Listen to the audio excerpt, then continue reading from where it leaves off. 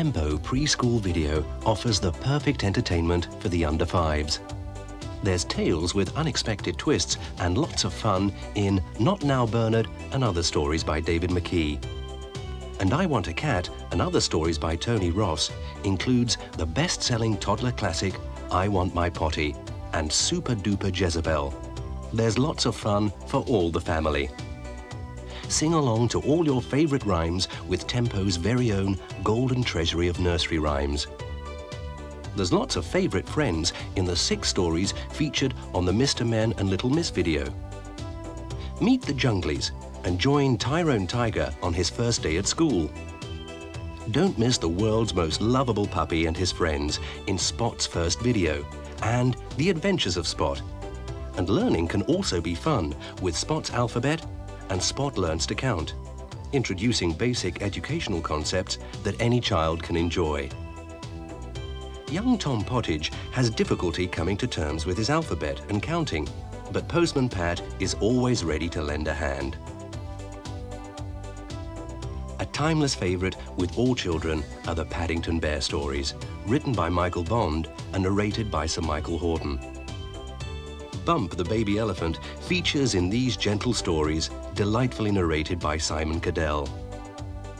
And perfect for pre-bedtime viewing are the Tempo range of classic tales. The tales of Aesop are brought to life with delightful puppet animation and humorously narrated by Tom Baker. And Tell Me a Story includes well-loved stories told by Jan Francis. There's something for everyone with Tempo Video.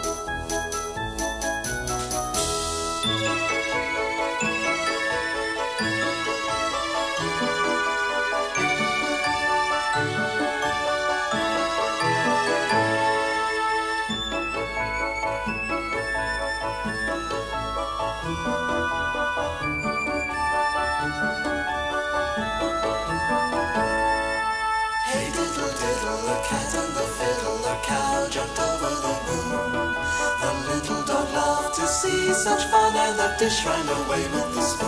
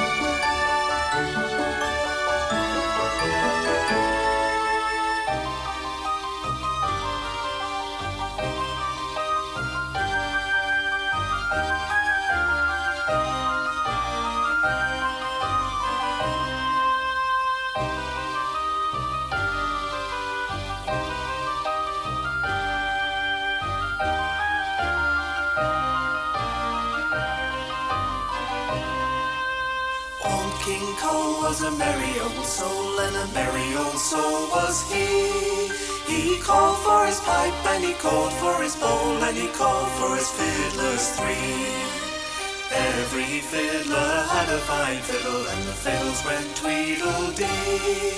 Oh, there's none so rare as can compare with King Cole and his fiddlers three. Then he called for his fifers too, and they puffed and they blew toodaloo. And King Cole laughed as his glass he quaffed, and his fifers puffed toodaloo. Then he called for his drummer boy, the army's pride and joy. And the thuds out rang with a loud bang bang, and the noise of the noisiest toy. Then he called his trumpeters, four who stood at his own palace door. And they played trang-a-tang whilst the drummer went bang, and King Cole he called for more. King Cole called for a man to conduct, who into his bed had been tucked. And he had to get up without bite or sup, and waggle his stick and conduct. Old King Cole, he laughed with glee, such rare antics to see. There never was a lad in merry England who was half as merry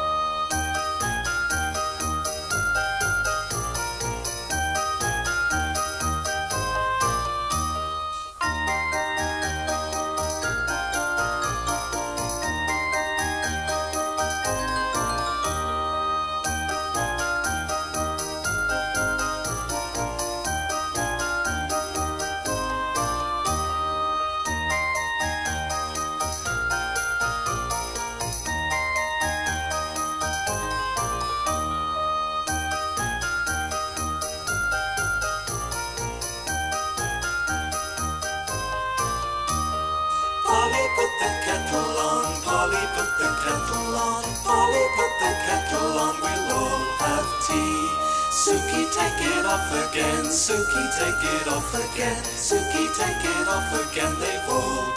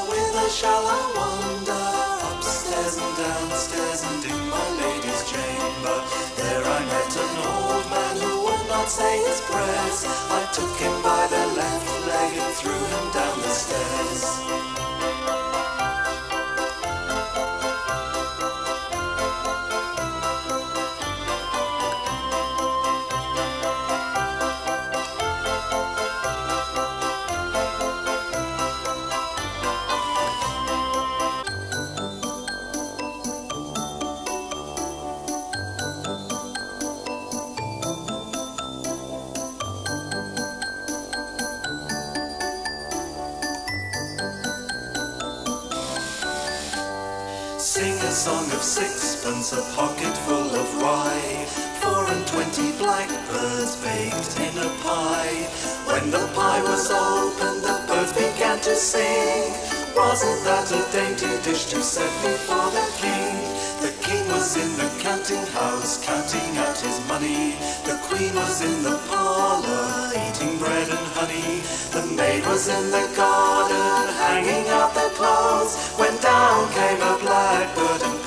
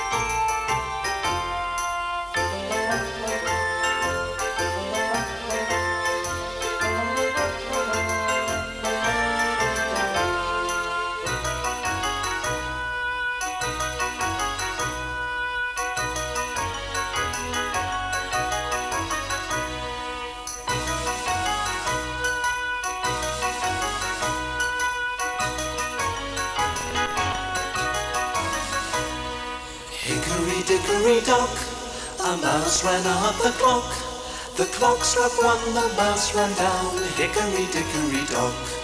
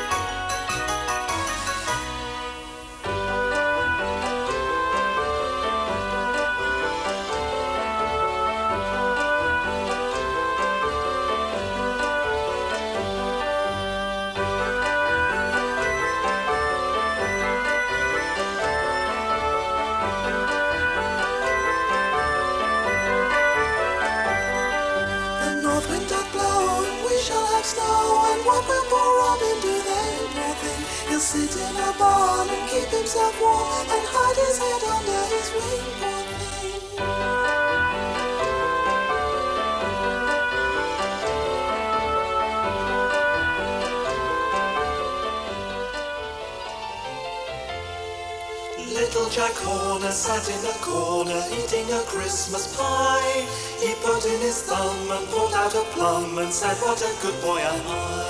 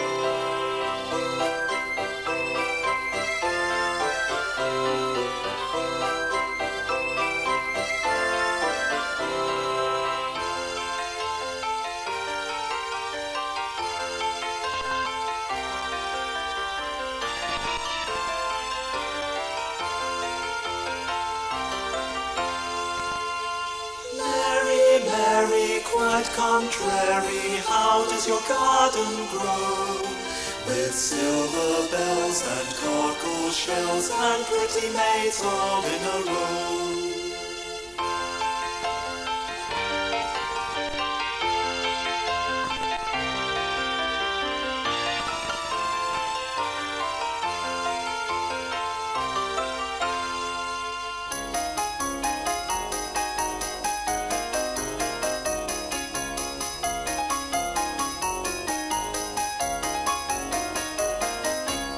Cotton cake, cotton cake baker's man. Bake me a cake as fast as you can. Hat it and break it and mark it with B Put it in the oven for baby and me.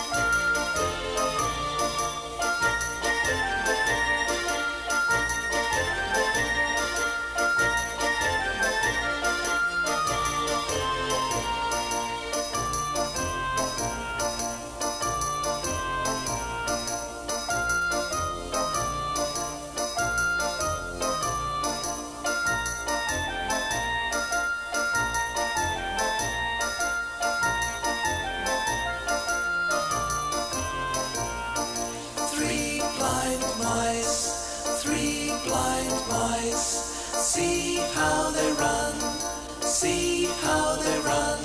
They all run after the farmer's wife who cut off their tails with a carving knife. Did you ever see such a thing in your life as three blind mice?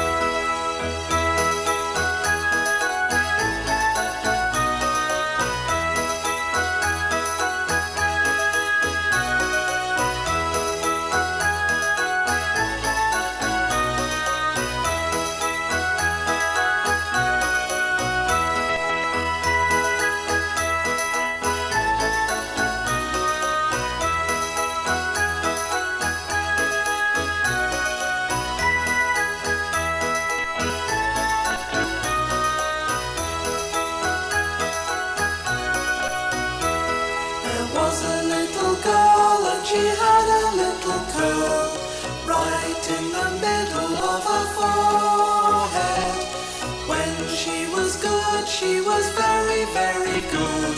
But when she was bad, she was horrid. She stood on her head on the truckle bed with nobody by for to hinder. She screamed and she squalled, she yelled and she bawled and drummed her heels against the window.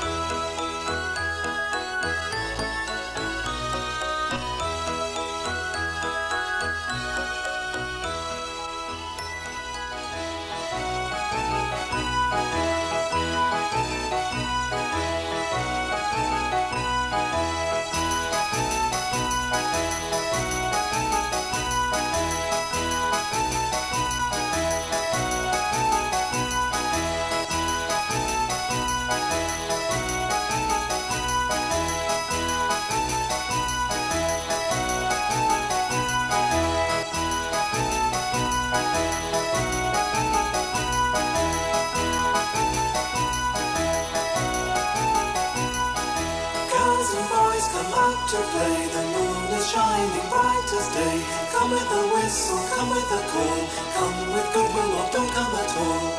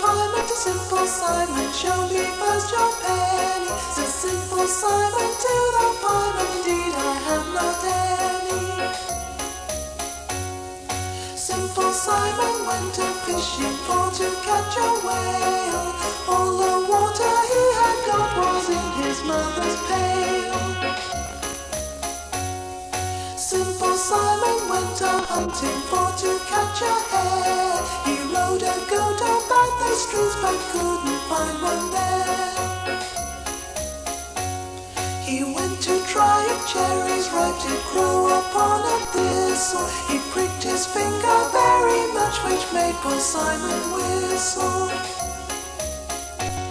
He went for water in a sip, but soon it all ran through. And now poor simple Simon bids you all adieu.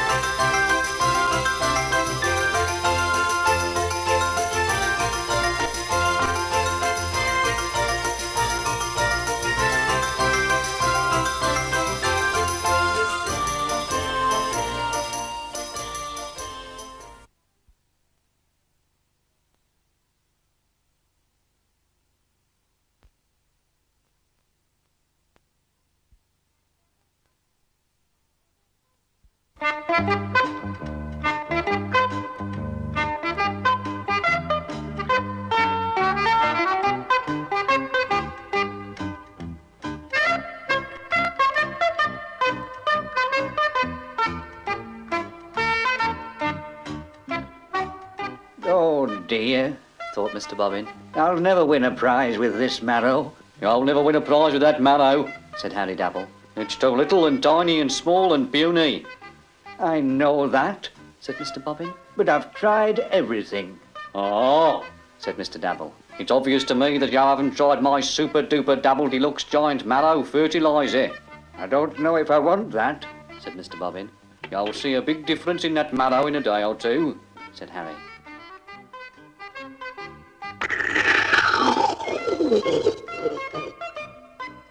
I can see the difference already, said Mr. Bobbin. Oh dear, said Gary. I think this must be the super duper double deluxe weed killer. Yo, ninny, said Harry. Look at my poor marrow, said Mr. Bobbin. Quick, Gary, said Mr. Dabble. We might save it yet. Go and get the proper tin.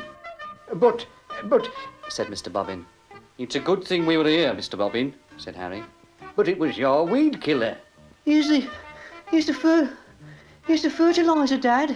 said Gary, panting. I don't think, said Mr. Bobbin.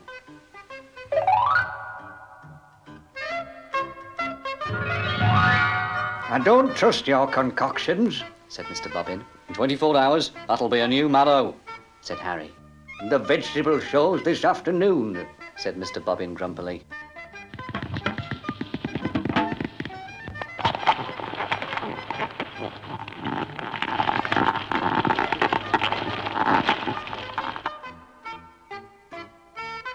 Never worked as well as that before, said Harry. You're bound to win a prize with that, said Gary. My goodness! You're right, said Mr. Bobbin. But how on earth shall I get it to the show? Leave that to Dabble and Son, said Harry. Are you sure it's not too heavy for your van? asked Mr. Bobbin. I'm, uh, I'm a bit worried about the tyres, said Mr. Dabble.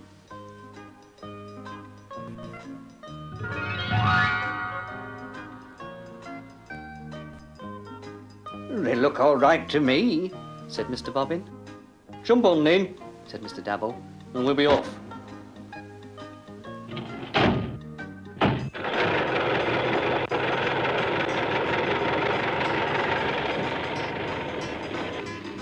It's, uh, it's going very smoothly considering the weight. said Gary. But uh, shouldn't you turn left here? I'm trying to turn left, said Harry. There must be something wrong with his steering wheel. Whoa, whoa, whoa, whoa, said Harry.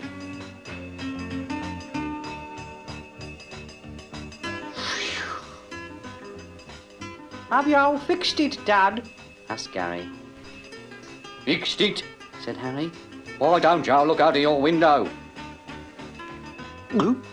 said Gary. Where's the road gone? The van's never flown before, said Harry. Must be something to do with that marrow.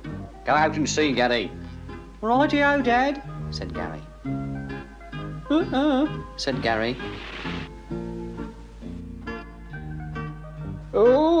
Oh, you'll have to get out, said Mr. Dabble. The only way for us to get down is to let some air out of the marrow. You can puncture it with this, Oh, all right. said Gary. I suppose I'll have to. Oh, it's a bit way on.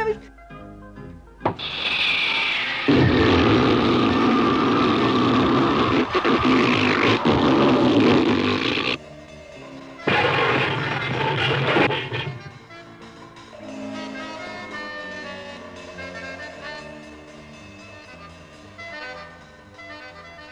well, I shall have to make do with entering my tomatoes, said Mr. Bobbin.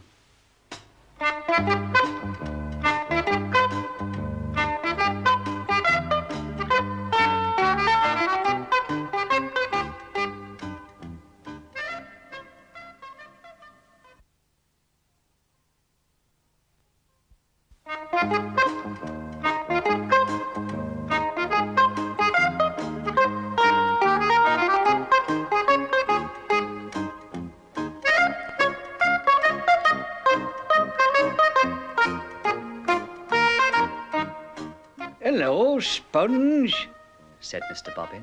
I'd keep him out of your new house if I were you, said the furniture man. He's a proper mischief maker, that cat is. Oh, he looks a nice puss to me. Look, we've made friends already. Huh, said Mr. Dabble. Help! said Mr. Dabble. Get him away from me!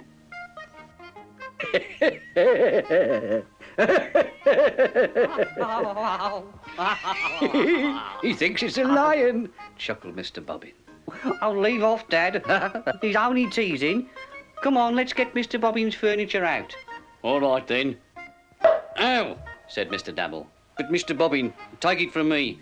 When that cat's around, anything can happen. Oh, I'm sure he'll behave, said Mr. Bobbin. I'll go and get him a saucer of milk, and I think we could all do with a nice cup of tea. That'll be very agreeable, thought the two Dabbles.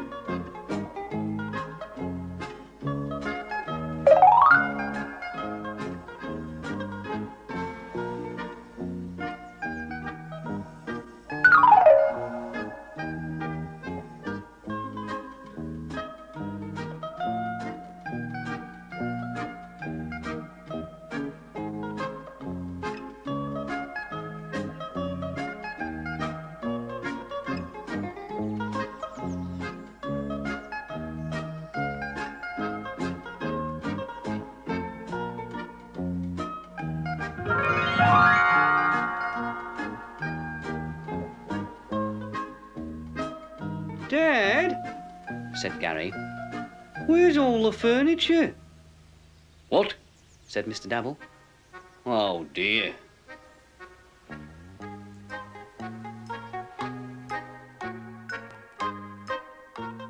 Mr. Dabble, said the policeman, we can't have this mess, you know. It's blocking the road up.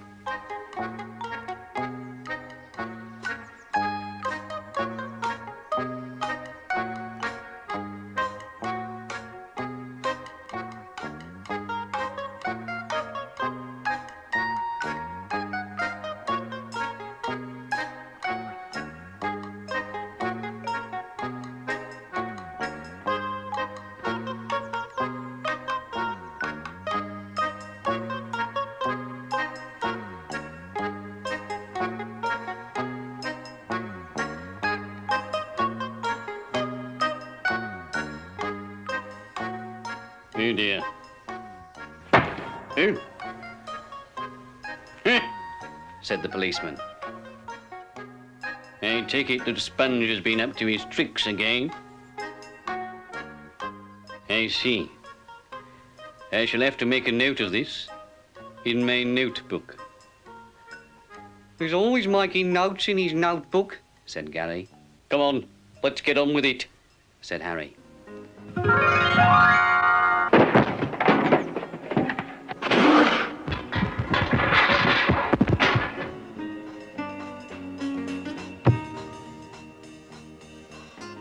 Ready, said Mr. Bobbin. Oh, dear me, he said. Did I forget to tell you that I wanted the furniture inside?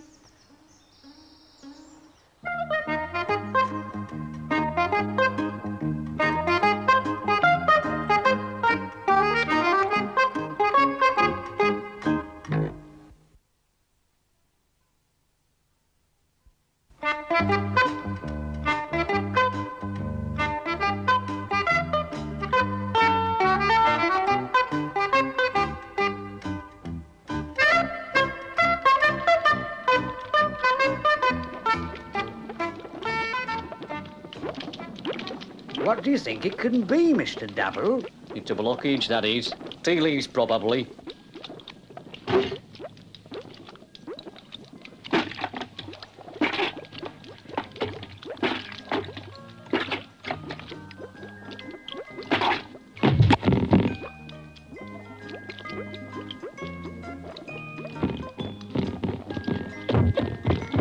Get it off, said Harry. Sorry, Dad. Said Gary.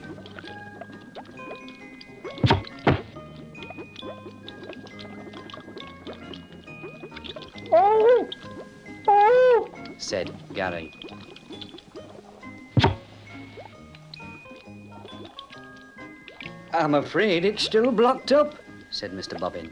I'll, uh, I'll have to look underneath. Said Harry.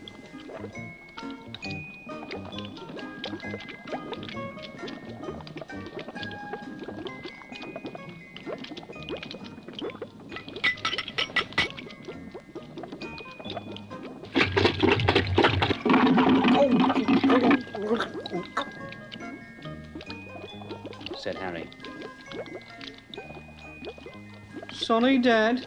Said Gary. Well, it's still blocked. Said Mr. Dabble. We'll have to use the rods.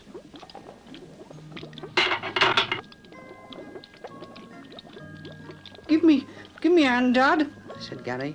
It's, it's stuck. Oh, all right. Said Mr. Dabble.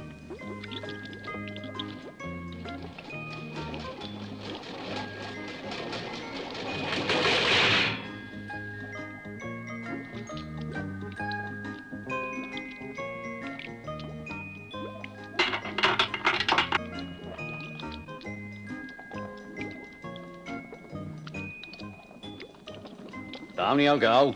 Said Harry. Oh! Perhaps it'll be a bit quieter down here. Said Gary. Aye. I can't find where my feet go. Oops! My feet are all wet. Said Gary. Stop complaining, said Mr. Dabble. Look for Mr. Bobbin's pipe. Here it is. Said Gary.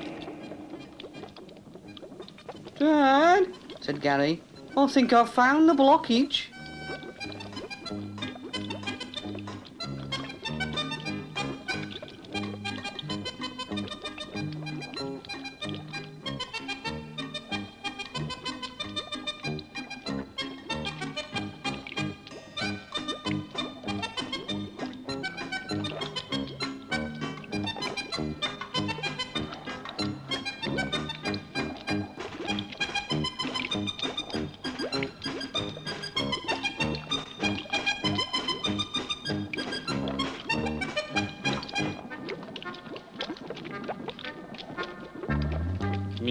Said the policeman.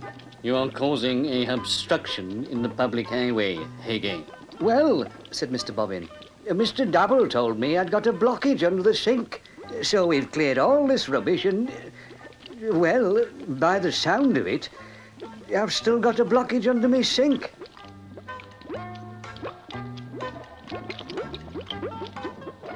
It doesn't sound like plumbing to me. Said the policeman.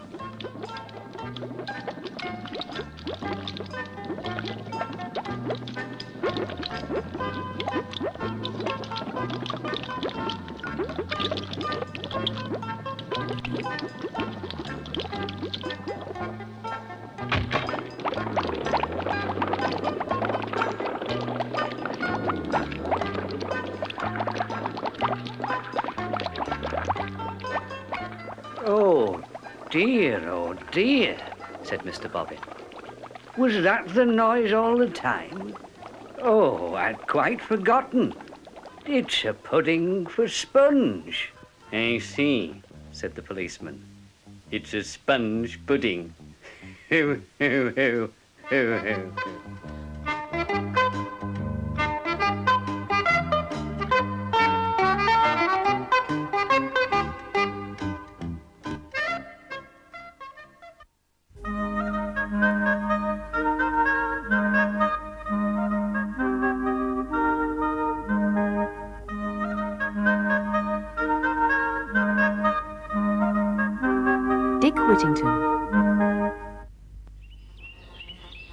This village, a long time ago, lived a boy who had no mother or father. His name was Dick Whittington. He had no other children to play with, and every day all he could do was listen to the grown-ups talking about the wonderful places they had seen. They used to talk about London, which they said was one of the most beautiful cities they'd been to. They told Dick the streets of London were paved with gold. Dick kept on thinking about how streets would look paved with gold. He really couldn't imagine what they would be like. He could not get these thoughts out of his mind, and he decided that he would go there, no matter how long it took him. So one day he wrapped up the few things he possessed, tied the bundle to a stick, and set off for the big city. And what a long way it was. The road seemed to go on forever. But every time his feet hurt, he kept thinking about those golden streets. Many days passed, and then he saw in front of him the fabulous city of London. He ran, shouting, I've arrived! I've arrived! Soon I will see the streets of gold! But he didn't find the golden streets. Instead, he found that they were made of stone. In tears, he sat down outside a house. It was Mr. Fitzwarren's house. The door opened, and out came the cook, who shouted at Dick to go away. She was very angry and was about to beat him when Mr. Fitzwarren came out of the house. With him was his beautiful daughter, Alice. Take him to the kitchen and give him something to eat, said Mr. Fitzwarren. And if he wants to stay, let him. Dick was given a huge meal, and he decided he would like to stay at the house. Dick would have been very happy if it hadn't been for one thing. The cook didn't like him. She kept him working from early in the morning till late at night. If anything went wrong, she would beat him. Dick had an awful time. He slept in the attic in a little bed. When he tried to sleep, he was kept awake by mice.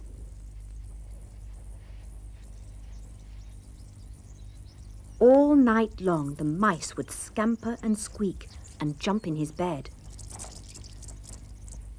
The mice were such a nuisance that he decided to spend all his money, which was exactly one penny, on a cat.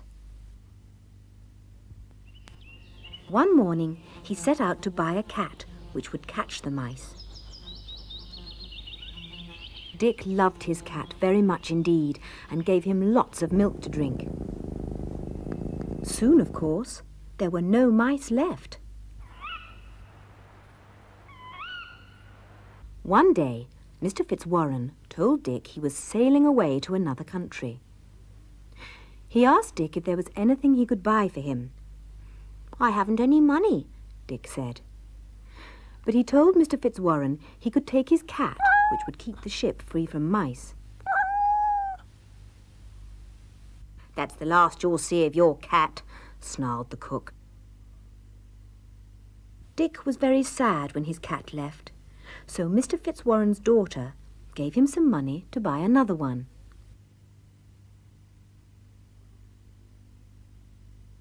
The cook became meaner and meaner. Soon Dick could stand it no longer and decided to run away from London and never go back.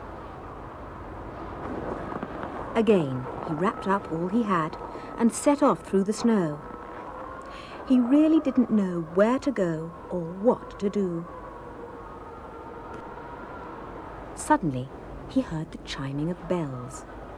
He listened and listened. They seemed to be saying, Turn again, Dick Whittington, turn again. One day you will be Lord Mayor of London.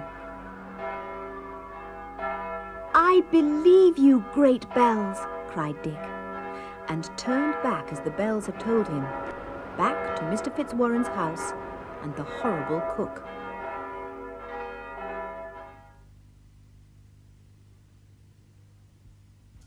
The cook treated him worse than ever, but Dick didn't care. He kept thinking of what the bells had told him that one day he would be Lord Mayor of London. Far, far away, Mr. Fitzwarren's ship came to the harbour of a strange land. The crew came ashore, bringing with them all the things they'd brought to sell. They all set off for a strange town far away from their ship. It was hot. They walked for miles and miles. At last, they arrived. Here we are, said Mr. Fitzwarren. Let's go and sell our goods.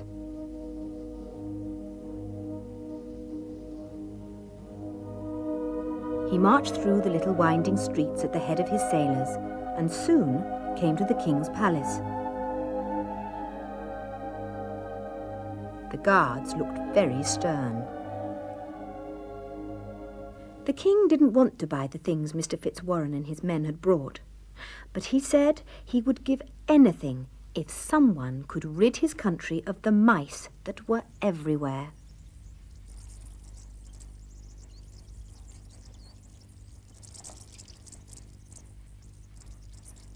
Mr. Fitzwarren ran out of the palace, through the city, across the desert, back to his ship. And then, puffing and panting, ran all the way back to the palace again.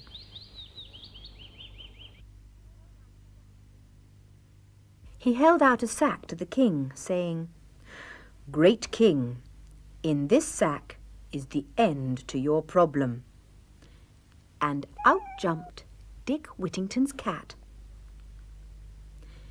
In a few days, there were no mice left.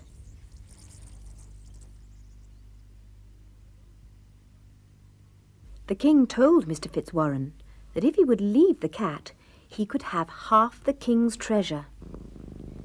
Mr. Fitzwarren agreed. and so he sailed for home.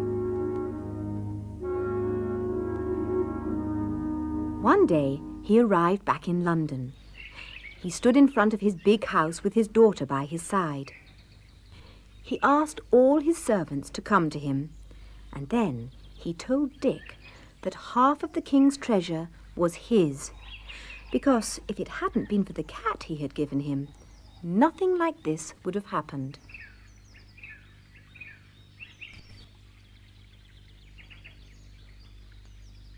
So Dick became rich. He bought new clothes. He bought presents for all the servants.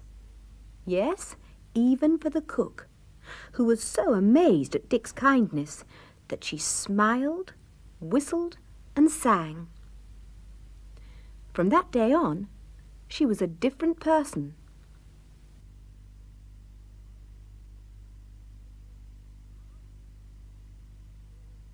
Alice, Mr. Fitzwarren's daughter, who liked Dick very much, agreed to marry him.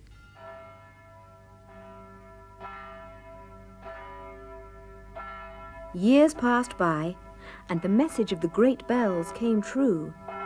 Dick, one day, became the Lord Mayor of London.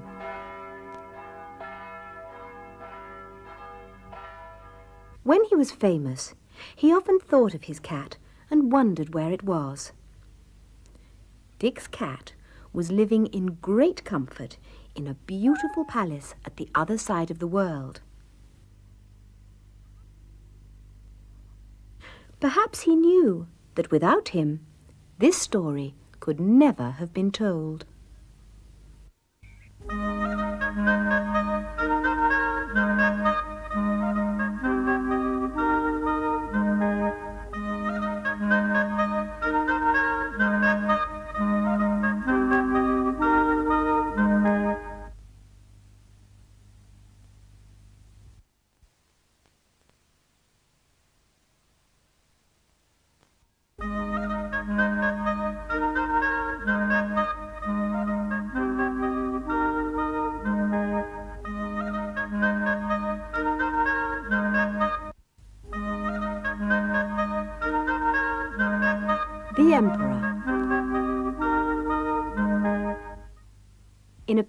Country, far, far away, there lived an emperor who liked nothing better than new clothes.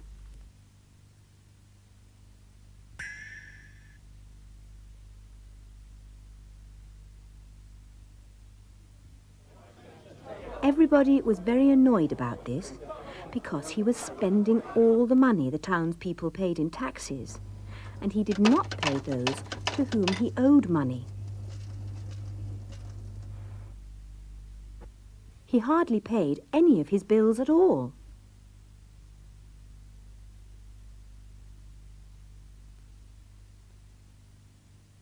He didn't bother to pay the soldiers in his army. He didn't bother about anything except new clothes for himself. While the soldiers marched up and down, and the townspeople became more and more angry, the emperor would stay in his room and change his clothes six or seven times a day. In fact, everybody was very unhappy indeed, except the emperor.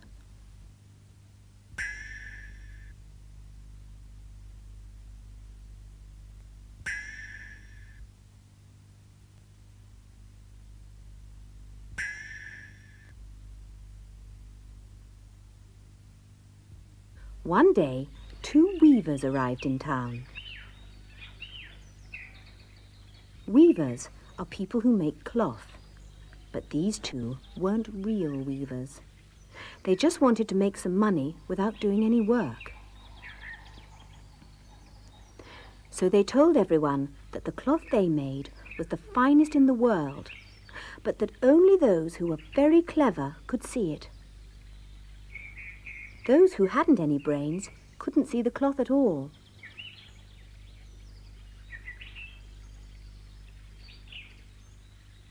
It wasn't very long before the Emperor heard about the weavers and asked to see them. He told the weavers they must make him some new clothes. The weavers said this would cost a lot of money, as their cloth had to be made from the finest silk and the purest gold thread. Oh, that's all right, the Emperor told them. You will be paid well for your work. The Emperor called for his Lord Chamberlain and told him to find room for his weavers to work and to give them as much silk and gold thread as they wanted. The Lord Chamberlain did not trust the two weavers, but he had to do as the Emperor told him. Eventually, he brought the weavers everything they asked for. They told the Chamberlain to go away so they could get on with their work.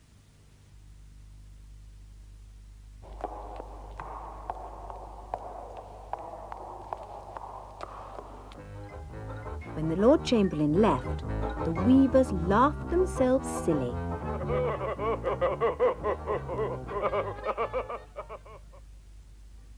They bundled the beautiful, priceless pieces of thread into their bags and pretended to work all night making the clothes.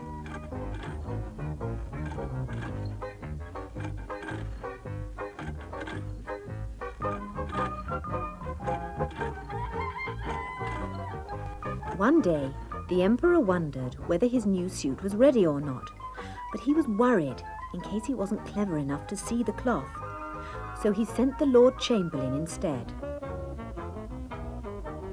The weavers were ready for him, and one of them pretended to hold up a piece of cloth for him to see.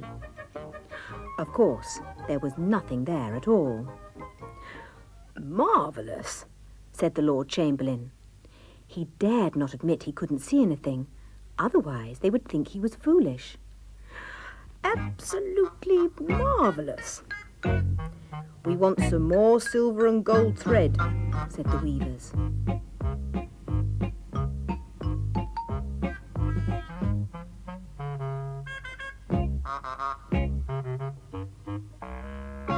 The Emperor asked how things were coming along and was told the cloth was magnificent. Then give them more thread, commanded the Emperor. Next day, He sent someone to see when the suit would be finished. The weavers again held up nothing, and the messenger from the emperor had to say how wonderful the cloth was, as he didn't want them to think he had no brains either. He went back to the emperor and told him the clothes would be ready in about a week. Then, said the emperor, next week I shall leave my court through the tower wearing the most beautiful suit in the world. He thought that if two members of his court had seen the cloth, and they didn't have as many brains as he had, then he would surely be able to see it. And so he stopped worrying about it.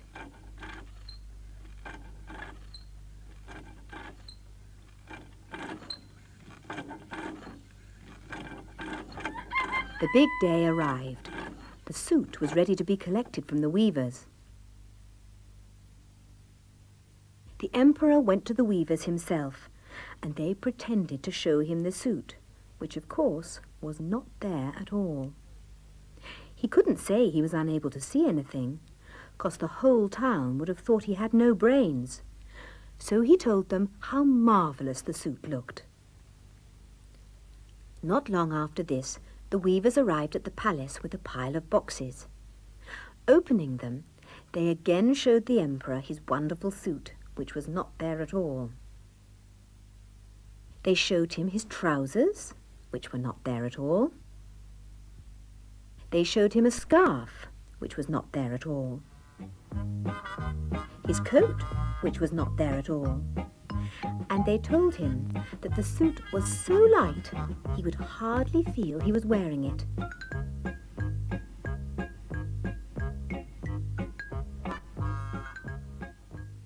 They asked the emperor to undress so that they could put his suit on.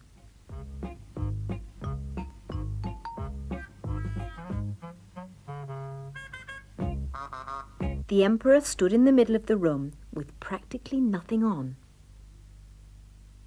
The weavers made themselves busy pretending to dress him.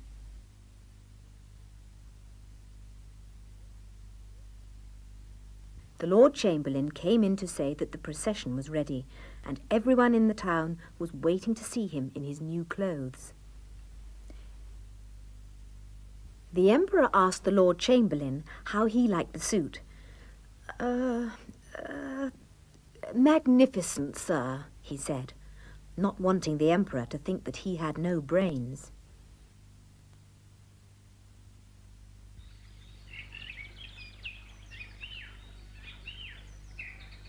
As the Emperor went out of the front door of his palace, the two tricky weavers left by the back with all the beautiful cloth they had stolen.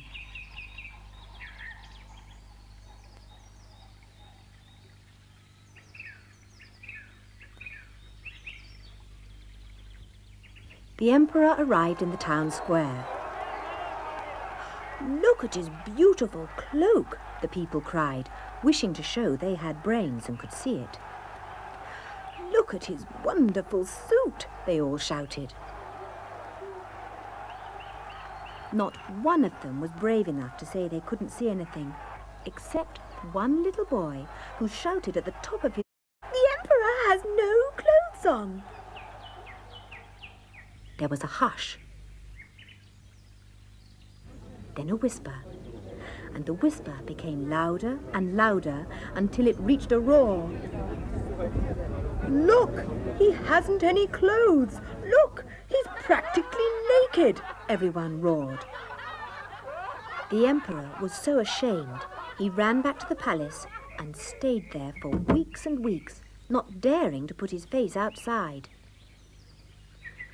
One day, he realized just how stupid he had been. He gave away all his beautiful clothes to the poor, and from that day he ruled over his kingdom wisely, as all emperors should. And all because a little boy in the crowd told the truth. Puss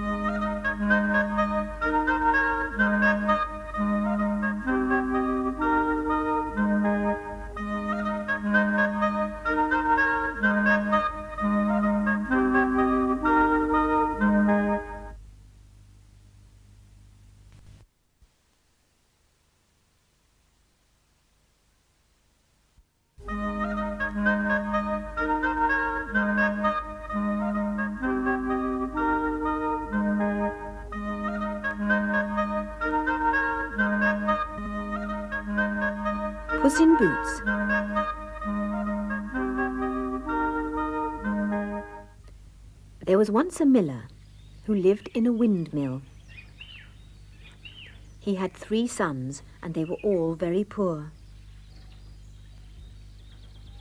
When the miller died, he left to his eldest son the windmill, to his second son he left his donkey,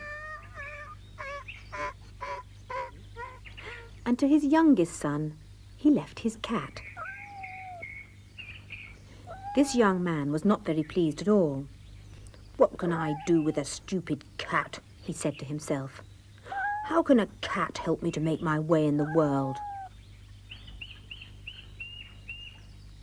One day he set off with his cat to make his fortune. He walked for miles and miles and became so tired he had to rest. Sitting down on a large stone by the roadside, he heard a voice saying, Just give me a sack and a pair of boots, and all your worries will be over. It was the cat who was talking. The young man thought, How silly, cats can't talk. And anyway, how on earth can a cat help me? But he gave him the boots and the sack.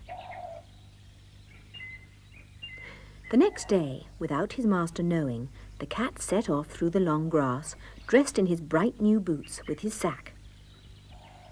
And he came to a place where he knew there were hundreds of rabbits.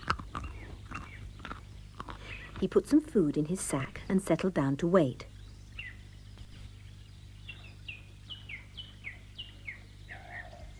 After a little while, a rabbit came along and started to eat the food in the sack. In a flash, the rabbit was tied up and in the sack and Puss set off for the king's palace, which stood on a hill. He was shown into the throne room, and he told the king that he had brought him a present of a fine young rabbit. It's from my master, the duke, the cat told the king. The king asked Puss all about the duke, who we all know was the miller's youngest son. But the king believed all the stories Puss was telling him. That night, Puss returned home, but didn't tell his master what he'd been up to. Next morning, he returned to the place where he'd captured the rabbit. He put some food in the sack and waited for two partridges to come along. The same thing happened. The birds were caught, and off to the king's palace he went. The king was even more pleased, and said how wonderful his master the duke must be to send him all these presents.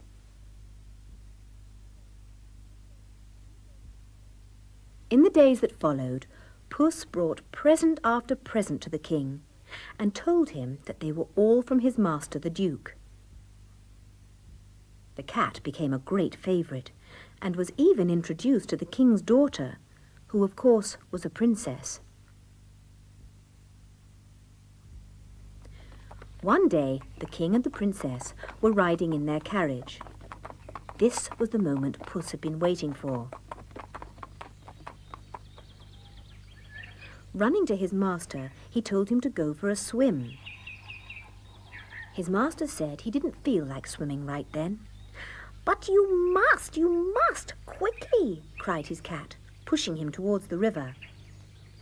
Into the river the young man went, and when he was in the middle of the water, Puss picked up his master's clothes and hid them in the bushes. Leaving his master in the river, Puss ran to stop the king's coach. The Duke is drowning, shouted Puss at the top of his voice. Oh, we must save him, cried the king. Save the Duke! Save the Duke! Within seconds, the king's guards were at the water's edge. The miller's son didn't know what was going on. He was freezing in the cold water, and realizing he had no clothes on, he was very embarrassed. His clothes have been stolen, Puss told the king. Returning to one of his guards, the king told him to ride back to the palace and bring the finest suit he could find. Remember, he didn't know what Puss had been saying. But a sly wink from Puss stopped him from giving the game away. The young man enjoyed the coach ride, particularly as it was with the most beautiful princess he had ever seen. She thought he was the most handsome duke she had ever seen. Meanwhile, Puss, who had no time for coach rides, was planning what he would do next. Running ahead of the coach, he came across some men working in a field. He told them that very soon the king would pass by, and if he asked them who owned the fields, they must say they belonged to the duke. Puss told them if they didn't do this, he would see that the king put them in prison for years and years. The coach came by. The king stopped the carriage and asked the men who owned the fields. The Duke, sire, they said, because they didn't want to go to prison. The Duke, eh? What a rich young man this Duke must be, thought the king.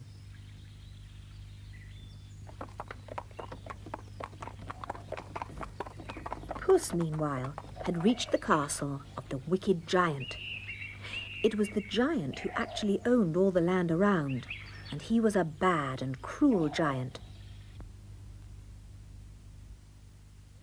Puss walked straight up to him and told the giant he had heard that he was one of the cleverest giants in the world. So clever that he could change himself into anything he wished. Yes, I can, yelled the giant.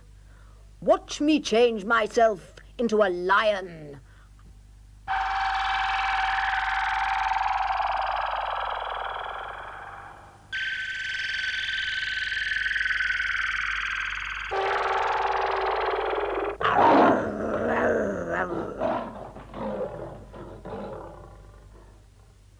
Mm, that's very clever, said Puss, quite frightened by now. But any old giant can change himself into a lion. What about something small, like a mouse?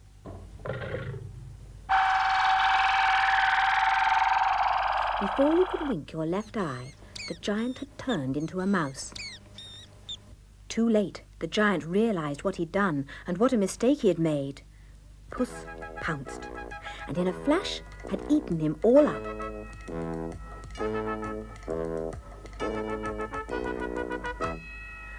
When the coach arrived at the castle, Puss met it and said, Welcome to the castle of my master, the Duke.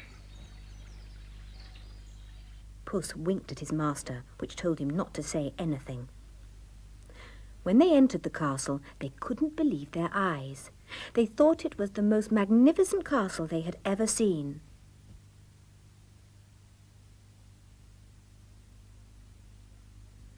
What a splendid young man this Duke is, thought the king.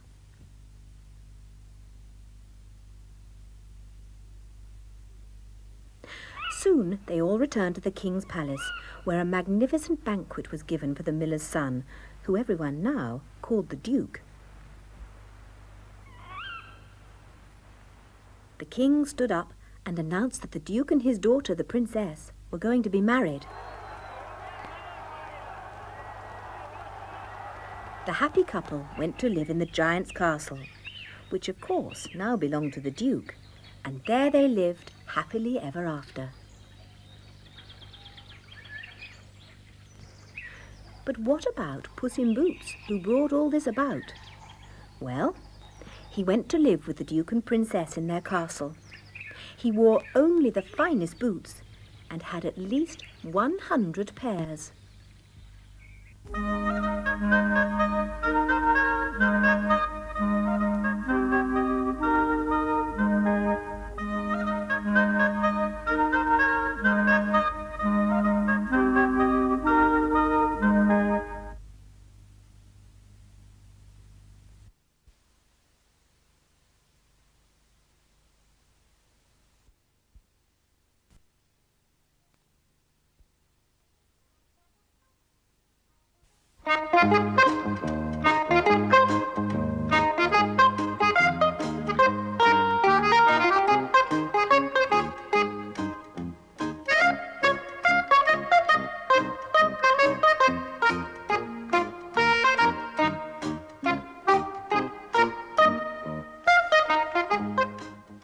Mr. Bobbin was having problems moving into his new house.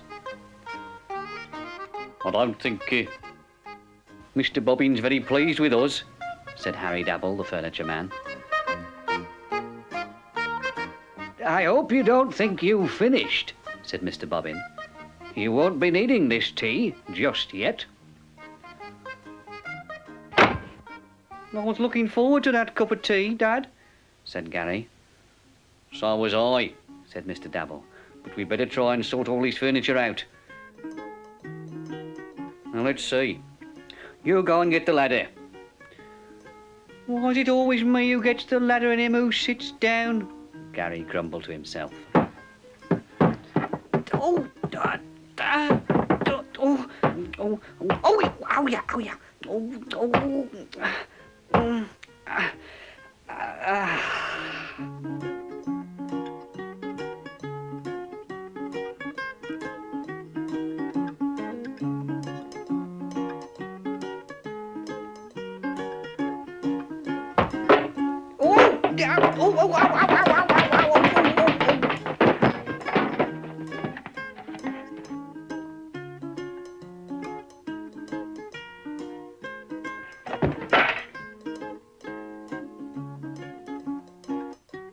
What a performance, said Mr. Bobbin. You all right? asked Mr. Dabble. Why do you always have to do everything the hard way? What do you mean? said Gary. The ladder's here. We'll pick it up then, said Harry, and stop playing about.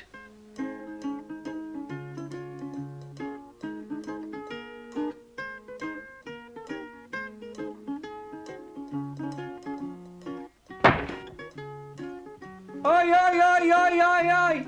shrieked Mr. Dabble. You careless noodle, you. What's the matter, Dad? You, you. Oh, said Mr. Dabble. We'll start with the television. Put the ladder there, and up you go.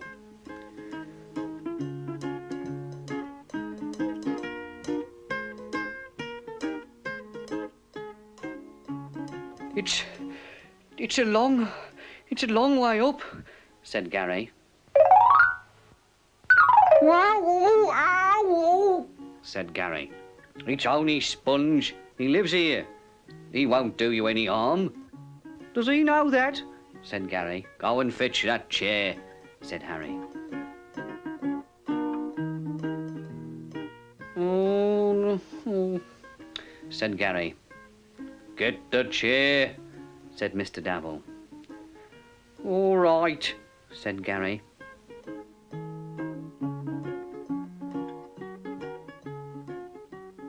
Oh, oh, oh, oh.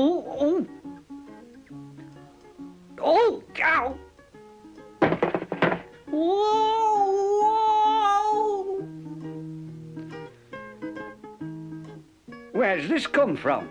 said Mr. Bobbin.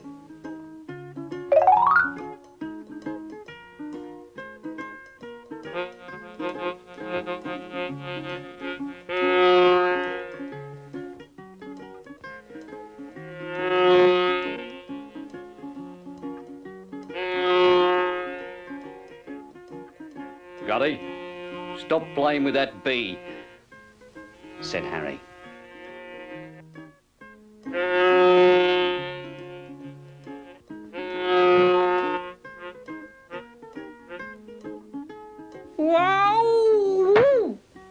Mr. Bobbin.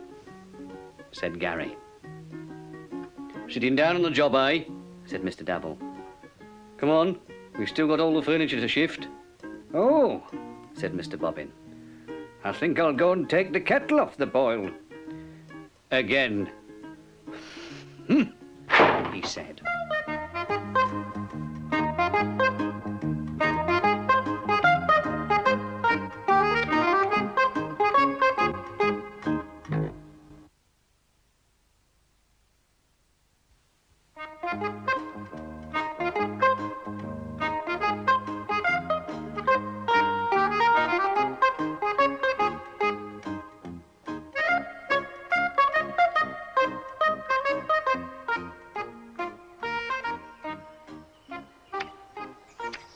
Bobbin was trying to tidy up his new garden. It was hot work.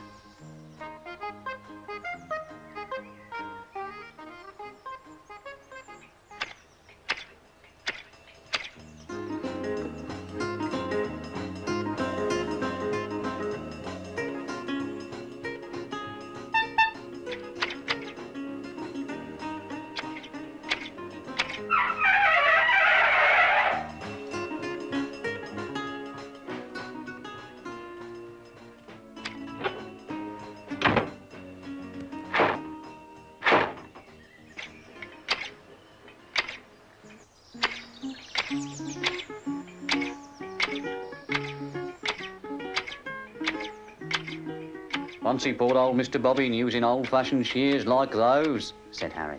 Yes, Said Gary. you'd think a man like that would have one of our super-duper double deluxe motor mowers. At our knock-down giveaway price for one week only, said Harry. Particularly, Said Gary. as it so happens we've got one in the van. Uh, well, said Mr. Bobbin, I'm a bit tempted. I suppose it can't do any harm just to look at it. This grass is terribly long. Could you show me it working on very long grass?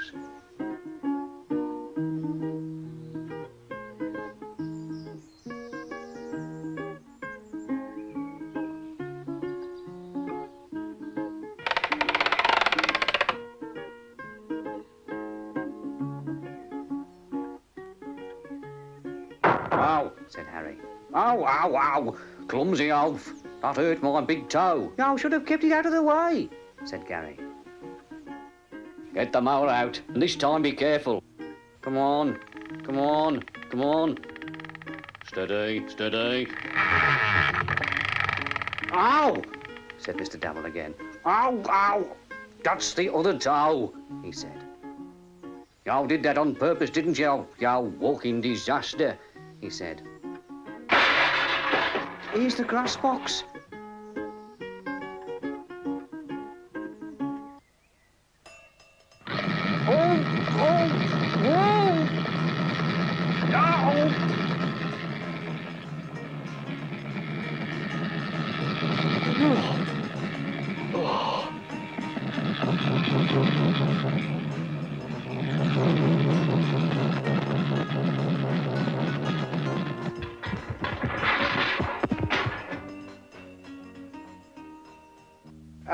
I, hope you haven't hurt yourself, said Mr. Bobbin. No bones broken. Just a few bruises, I expect, said Mr. Dabble. Let me help you up, said Mr. Bobbin. Thank you, said Harry. Now, uh, about the mower.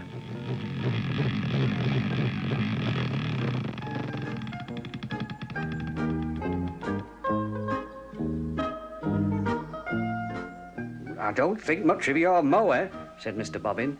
Look at all this bare earth. It's worse than the long grass. What are you going to do about it? Uh, well, said Gary sheepishly. look, you can put it back again if you like. Just, just sort of pat it down. Good as new. He said. That's no use, said Mr. Bobbin. You've made a mess of my nice garden, and I want it put right. Hey, come back, Mr. Dabble. Oh. Oh, thank you, Sponge, said Mr. Bobbin. That's much better. It's still very long, though, he thought sadly. Oh, well, I'd better carry on with my old-fashioned clippers.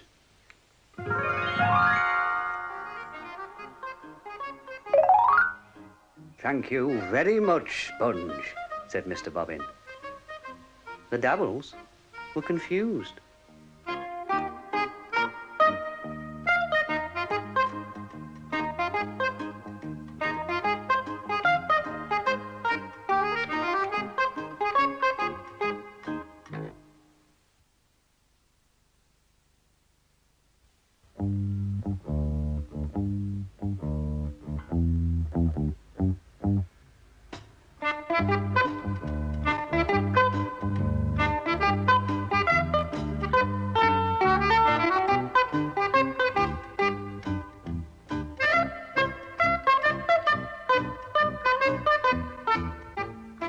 Soon make light work of this. said Gary. Hmm, said Harry. What have you got there? asked Mr. Bobbin. It's a, a new street lamp for outside your house, said Mr. Dabble. Well, I don't like it, said Mr. Bobbin. And anyway, I've already got that nice old lamp up there. I'm sorry, Mr. Bobbin, said Harry. But here's our orders from the council. Oh, dear, said Mr. Bobbin. I suppose I'll have to put up with it. Right then, said Harry.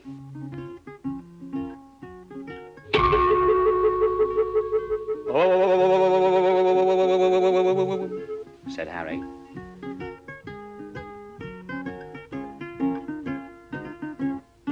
Steady, steady, said Mr. Dabble. Oh. Oh, oh, oh, oh, said Gary. Right, put it down, put it down, said Harry. Ow, not on my Joe, he said. Sorry, Dad, said Gary. Where does it go?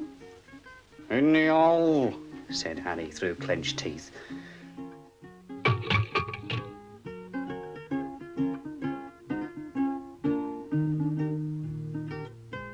You've put it up the wrong way round, said Mr. Dabble.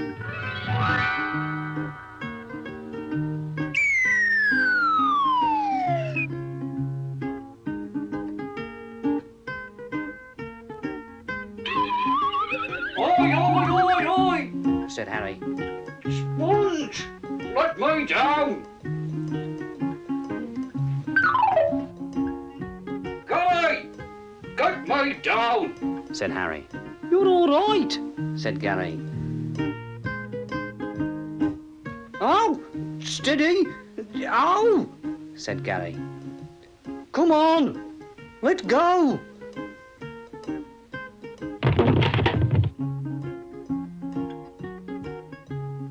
Why shall I catch that cat? said Harry.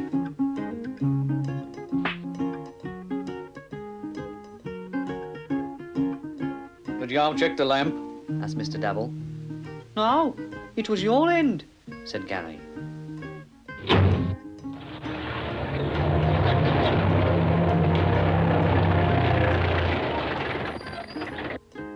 Your turn, said Mr. Dabble. Oh, said Harry. Seems all right, said Gary. Dad, said Gary. Come back. Oops, sorry, said Mr. Dabble. All right now, said Gary.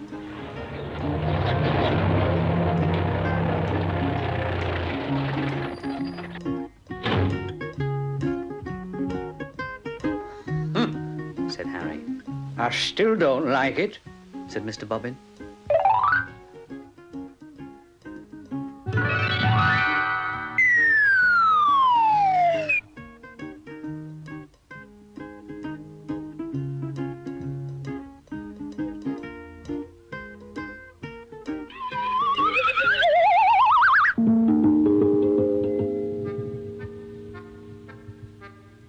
If that's a street lamp, said the policeman, it's in the wrong place. You were supposed to put that up in the next village. Oh dear. You're right, said Mr. Dabble. Got it. We're going to look a right couple then he's putting this up, said Harry.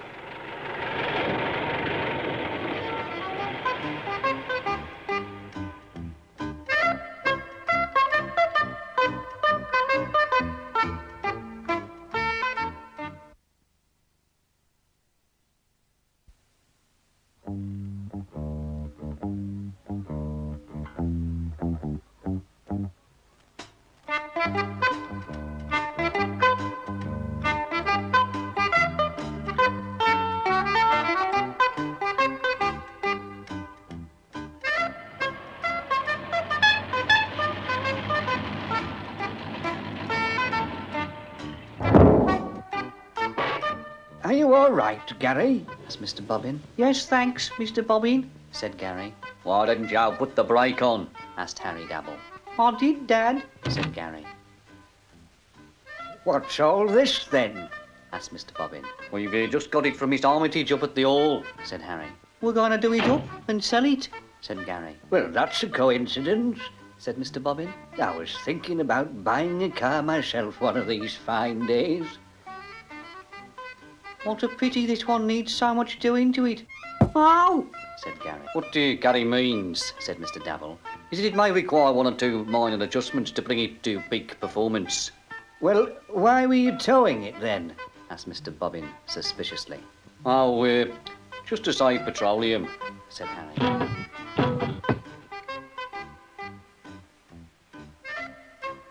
Look at this, Mr. Bobbin, said Harry hurriedly. I don't see upholstery like this nowadays. Gary, let Mr. Bobbin have a proper look.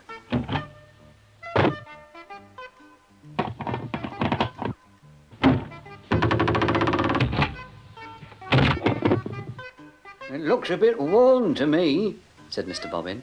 It's just uh, well run in, said Harry, and it's very comfortable. Why don't you sit in it and uh, try it? Oh, well, that, that's one of those minor adjustments I mentioned, said Harry.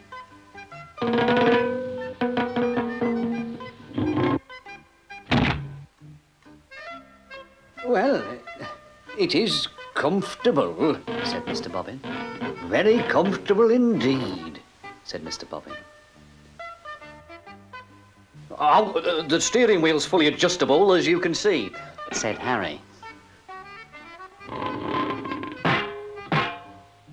Are you sure this car's safe? asked Mr. Bobbin. Of course it is, said Harry. Would you like a trial drive? Uh, well, uh, um, said Mr. Bobbin.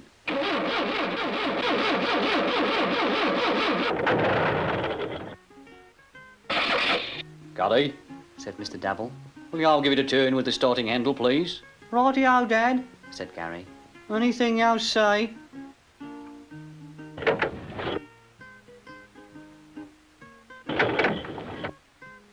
It'll, uh, it'll be the carburetor, said Harry.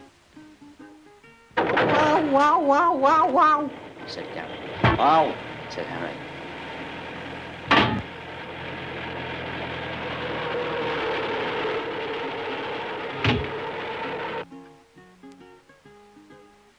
I think it needs a slight push, said Harry. I knew I wouldn't sit down for long, said Gary. Oh, oh man. Hey, ow, me chin, said Gary.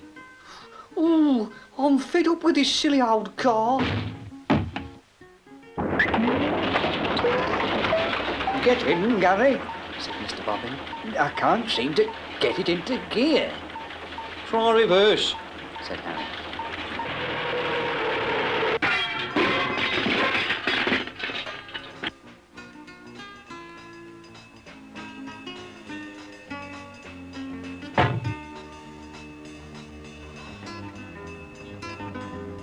I don't think this car's quite my cup of tea, said Mr. Bobbin. Not even for 50p, said Gary. Only 50p, said Mr. Bobbin. Well, I, I, I could use the bits, I suppose. Thank you, said Harry. Hello, Sponge, said Mr. Bobbin. Look what I've just bought.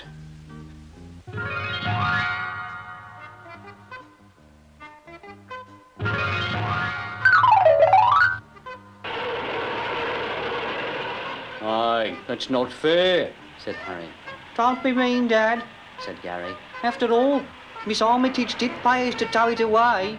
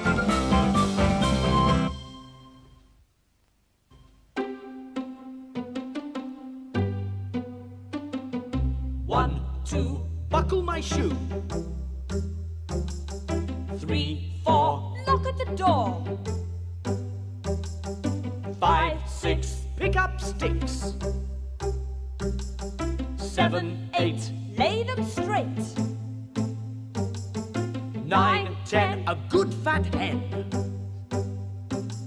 Eleven, twelve, Dig and delve. thirteen, fourteen, maids a courting. Fifteen, sixteen, maids in the kitchen. Seventeen, eighteen, maids are waiting. Nineteen, twenty, my plate's empty.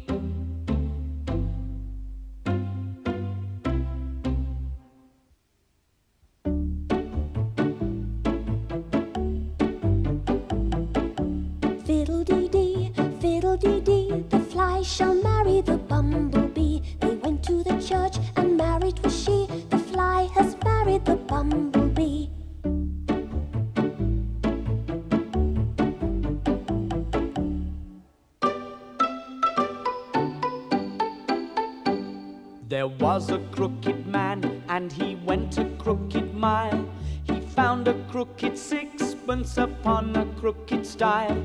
He bought a crooked cat, which caught a crooked mouse, and they all lived together in a little crooked house.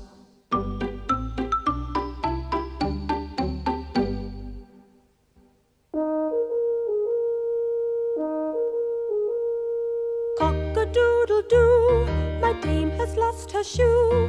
My master's lost his fiddling stick Cock-a-doodle-doo, what is my dame to do? Till master finds his fiddling stick, she'll dance without her shoe. Cock-a-doodle-doo, my dame has found her shoe, and master's found his fiddling sticks in cock-a-doodle-doo. Cock-a-doodle-doo, my dame will dance with you, while master fiddles his fiddling stick for dame and doodle-doo.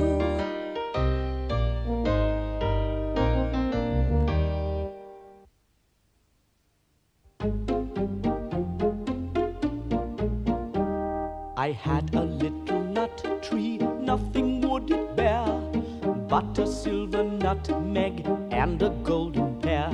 The king of Spain's daughter came to visit me, and all for the sake of my little nut tree.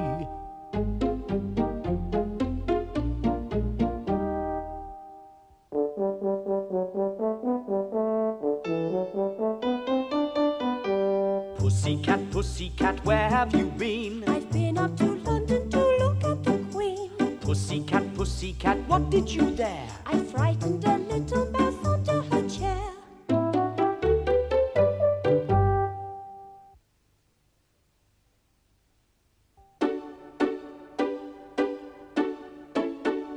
As little Jenny Wren was sitting by the shed, she waggled with her tail and nodded with her head. She waggled with her tail and nodded with her head. as little Jenny Wren was sitting by the shed.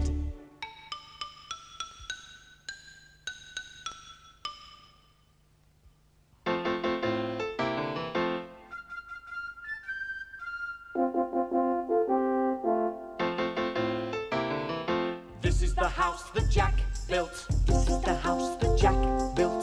Is the malt that lay in the house that Jack built. This is the house that Jack built. This is the rat That ate the malt that lay in the house that Jack built. This is the house that Jack built. This is the cat that killed the rat that ate the malt that lay in the house that Jack built. This is the house that Jack built. This is the dog That worried the cat that killed the rat that ate the malt that lay in the house that Jack built.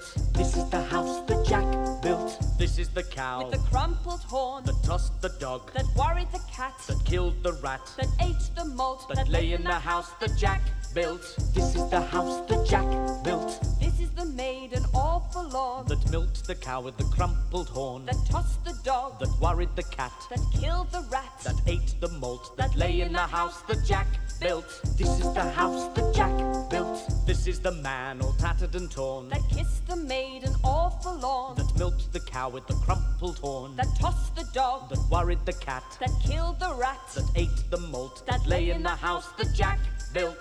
This is the house that Jack built. This is the all shaven and shorn. That married the man all tattered and torn. That kissed the maiden all forlorn. That milked the cow with the crumpled horn. That tossed the dog. That worried the cat. That killed the rat. That ate the malt. That lay in the house that Jack built. This is the house that Jack built. This is the cock that crowed in the morn. That waked the priest all shaven and shorn. That married the man all tattered and torn. That kissed the maiden all forlorn. That milked the cow with the crumpled horn. That tossed the dog. That worried the cat. That killed the rat. That ate the malt. That lived in the house that Jack built.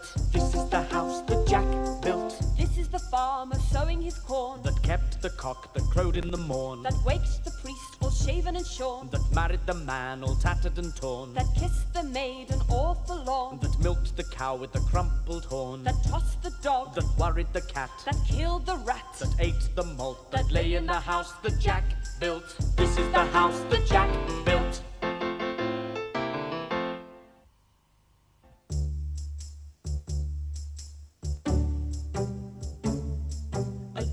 And a cat went out together to see some friends just out of town. Said the cat to the dog, What do you think of the weather? I think, ma'am, the rain will come down. But don't be alarmed, for I've an umbrella that will shelter us both, said this amiable fella.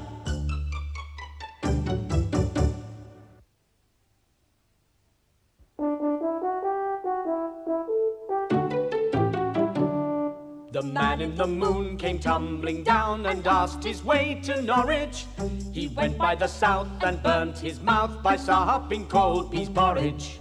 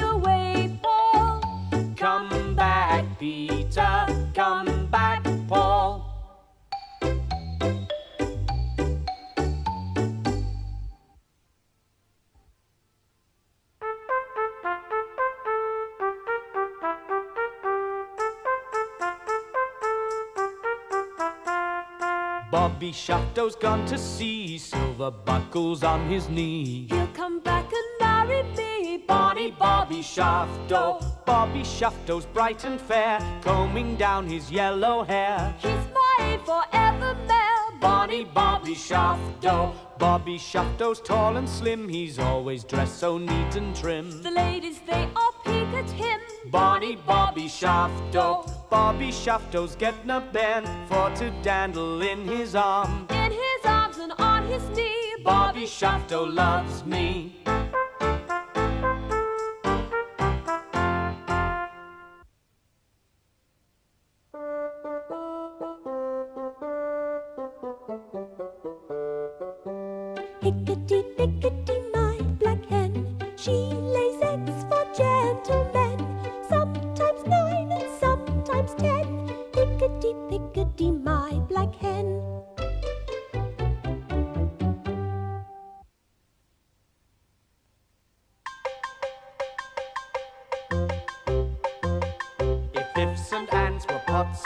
And pans,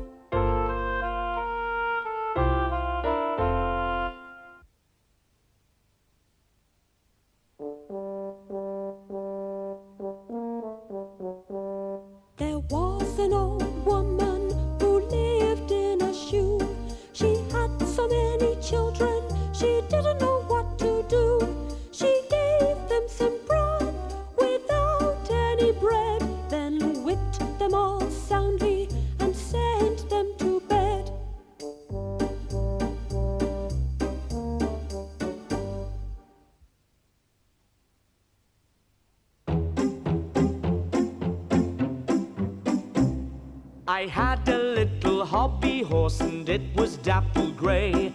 Its head was made of pea straw, its tail was made of hay.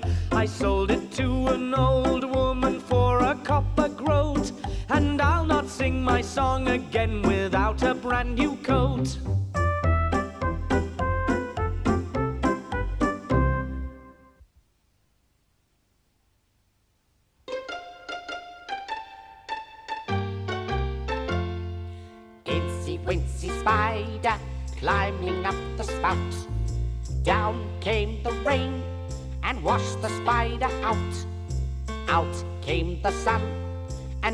Up all the rain. Then Incy wincy spider climbed the spout again.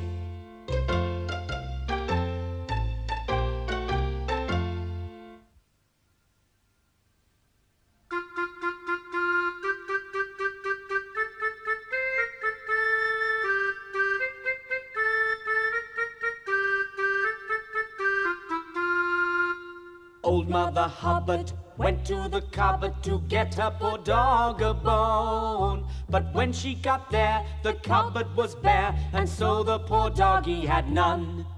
She went to the baker's to buy him some bread, but when she came back, the poor dog was dead. She went to the joiner's to buy him a coffin, but when she came back, the poor dog was laughing. She took a clean dish to get him some tripe, but when she came back, he was smoking his pipe. She went to the fishmonger's to buy him some fish, but when she came back, he was licking the dish. She went to the alehouse to get him some beer, but when she came back, the dog sat in a chair. She went to the tavern for white wine and red, but when she came back, the dog stood on his head. She went to the hatter's to buy him a hat, but when she came back, he was feeding the cat. She went to the barber's to buy him a wig, but when she came back, he was dancing a jig. She went to the fruiter's to buy him some fruit, but when she came back, he was playing.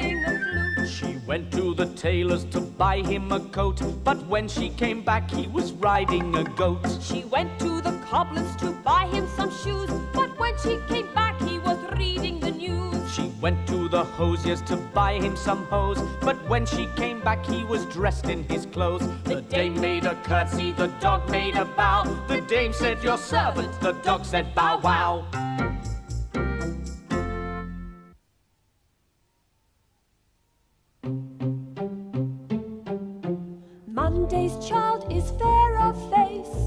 Tuesday's child is full of grace. Wednesday's child is full of woe. Thursday's child has far to go. Friday's child is loving and giving. Saturday's child works hard for its living, and the child that is born on the Sabbath day is good and kind and sweet and gay.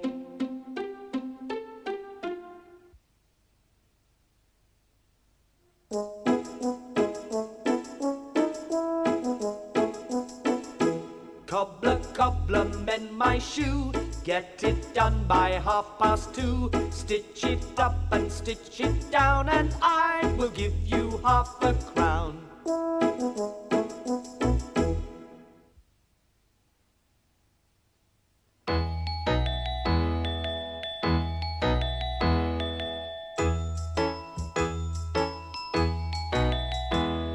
As I was going to St. Ives, I met a man with seven wives. Each wife had seven sacks, each sack had seven cats, each cat had seven kits, kits, cats, sacks, and wives. How many were going to St. Ives?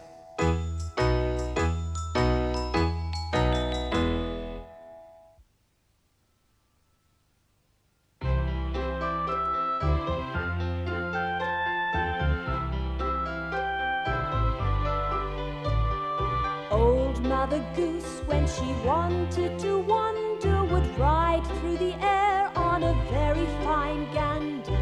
She had a house, 'twas built in a wood, where an owl at the door for a sentinel stood. She had a son, Jack, a plain looking lad. He was not very good, nor yet very bad. She sent him to market, a live goose he bought. Here, mother, says he, it will not go for naught. Jack's goose and gander grew very fond. They'd both eat together or swim in one pond. Jack found one morning, as I have been told, his goose had laid him an egg of pure gold.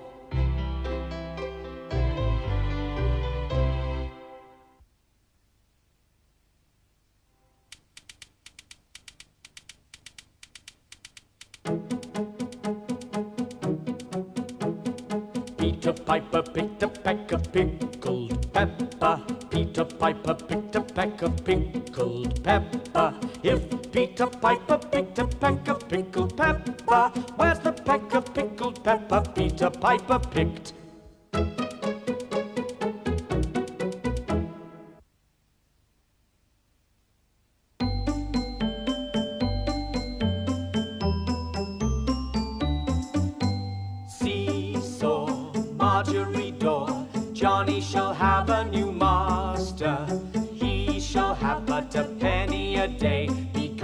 not well.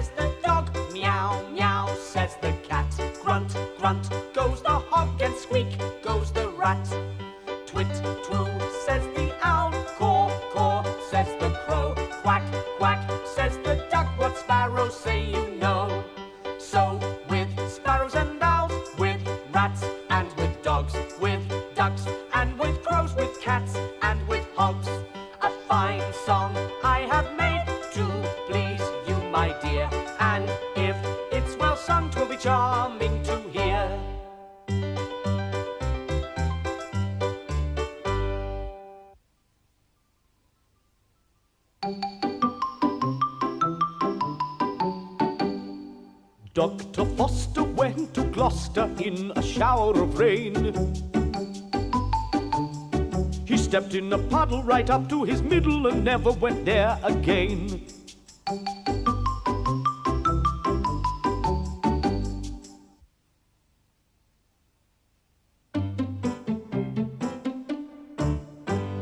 Hot cross buns, hot cross buns.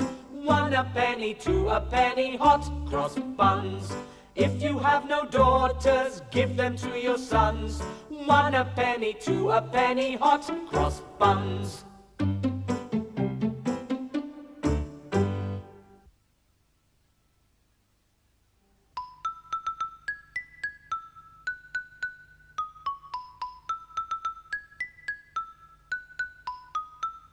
The wheels on the bus go round and round, round and round, round and round. The wheels on the bus go round and round all day long.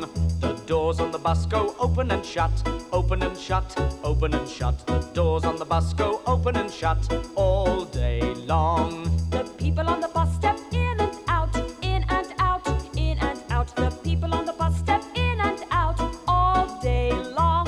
The driver on the bus says, Move along, please, move along, please, move along, please. The driver on the bus says, Move along, please, all day long. The windows on the bus slide up and down, up and down, up and down. The windows on the bus slide up and down all day long. The wipers on the bus go swish, swish, swish, swish, swish, swish, swish, swish, swish. The wipers on the bus go swish, swish, swish, all day long. The riders on the bus go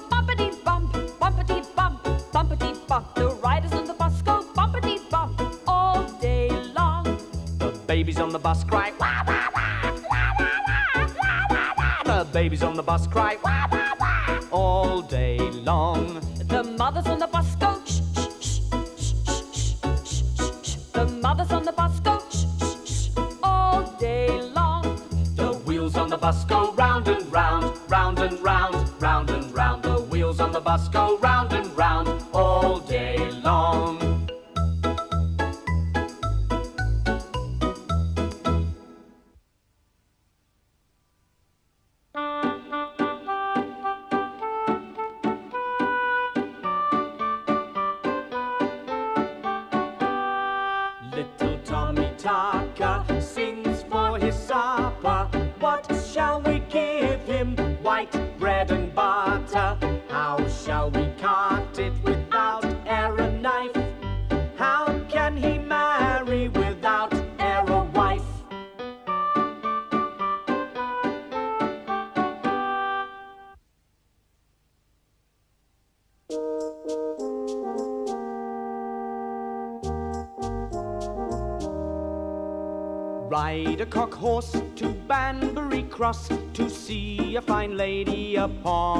horse with rings on her fingers and bells on her toes.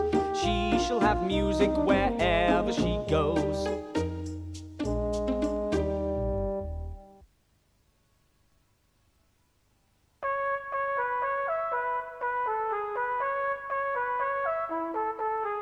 Dance to your daddy, my little laddie. Dance to your daddy, my little lamb. You shall have a fishy on a little dishy. You shall have a fishy when the boat comes in. Dance to your daddy, my little laddie. Dance to your daddy, my little lamb.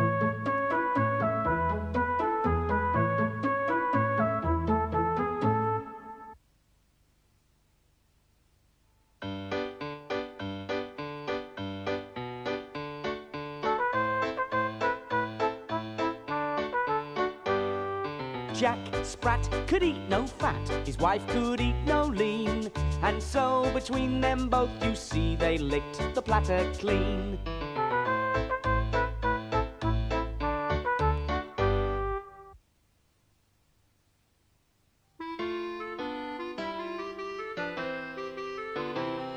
A frog he would a wooing go, sing hey ho, says Roly. A frog he would a wooing go, whether his mother would let him and spinach, hey ho, says Anthony Roly. So off he marched with his opera hat. Hey ho, says Roly. So off he marched with his opera hat, and on the way he met with a rat. With a roly poly, gammon and spinach, hey ho, says Anthony Roly.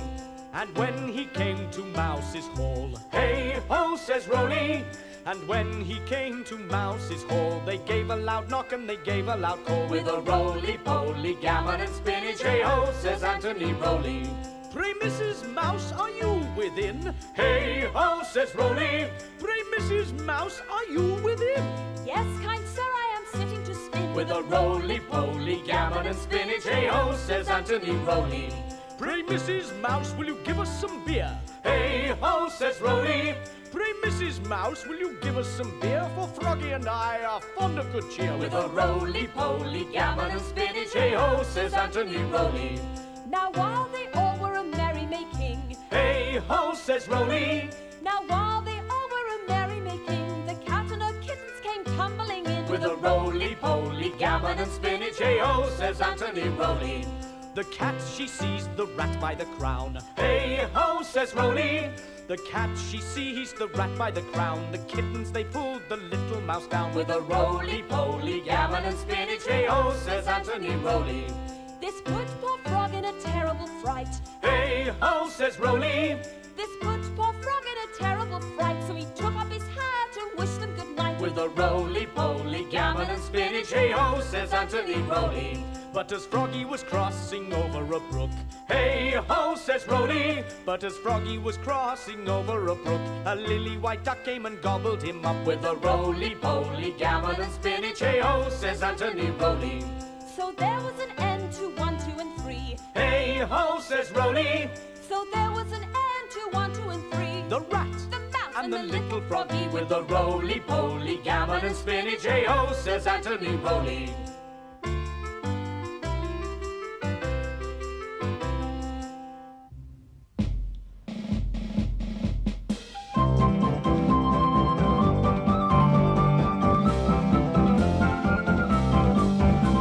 The Grand Old Duke of York, he had to the top of the hill. And he marched them down again. And when they were up, they were up. And when they were down, they were down. And when they were only halfway up, they were neither up nor down.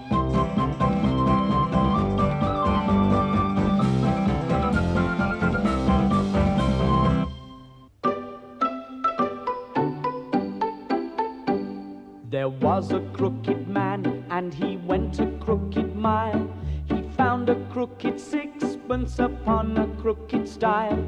He bought a crooked cat, which caught a crooked mouse, and they all lived together in a little crooked house.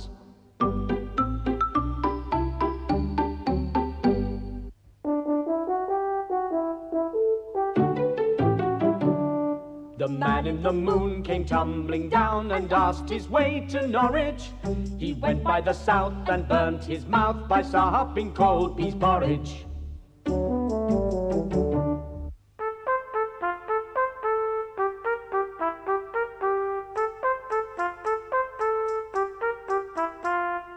Bobby Shafto's gone to sea, silver buckles on his knee. He'll come back and marry me, Bonnie Bobby Shafto, Bobby Shafto's bright and fair, combing down his yellow hair. He's my forever mare. Bonnie Bobby Shafto, Bobby Shafto's tall and slim, he's always dressed so neat and trim. The ladies, they all peek at him. Bonnie Bobby Shafto, Bobby Shafto's getting a band for to dandle in his arm. In his arms and on his knee, Bobby Shafto loves me.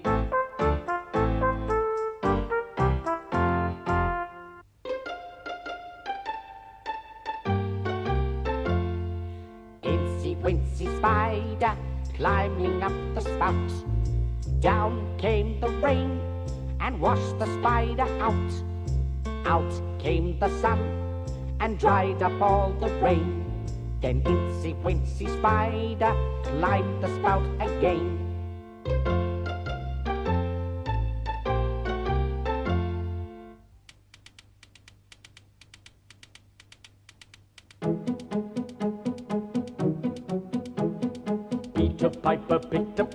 Pickled pepper. Peter Piper picked a peck of pickled pepper. If Peter Piper picked a peck of pickled pepper, where's the peck of pickled pepper Peter Piper picked?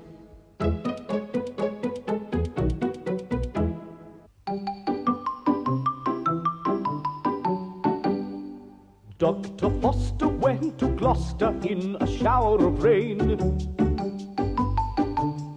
He stepped in a puddle right up to his middle and never went there again.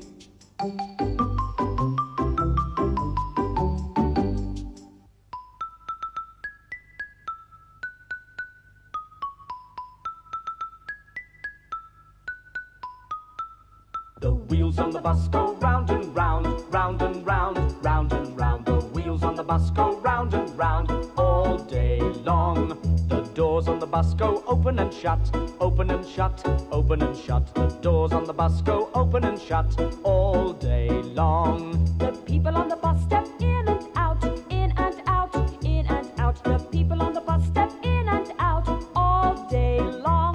The driver on the bus says, Move along, please, move along, please, move along, please. The driver on the bus says, Move along, please, all day long. The windows on the bus slide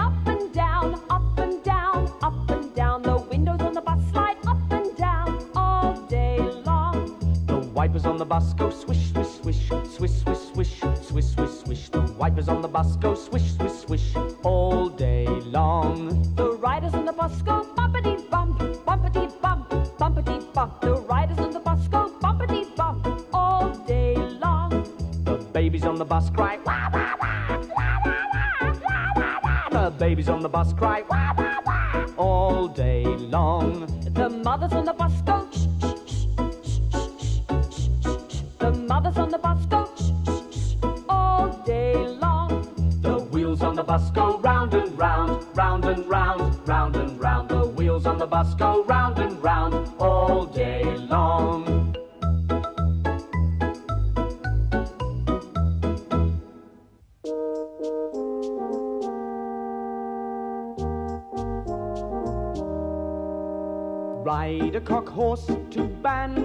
To see a fine lady upon a white horse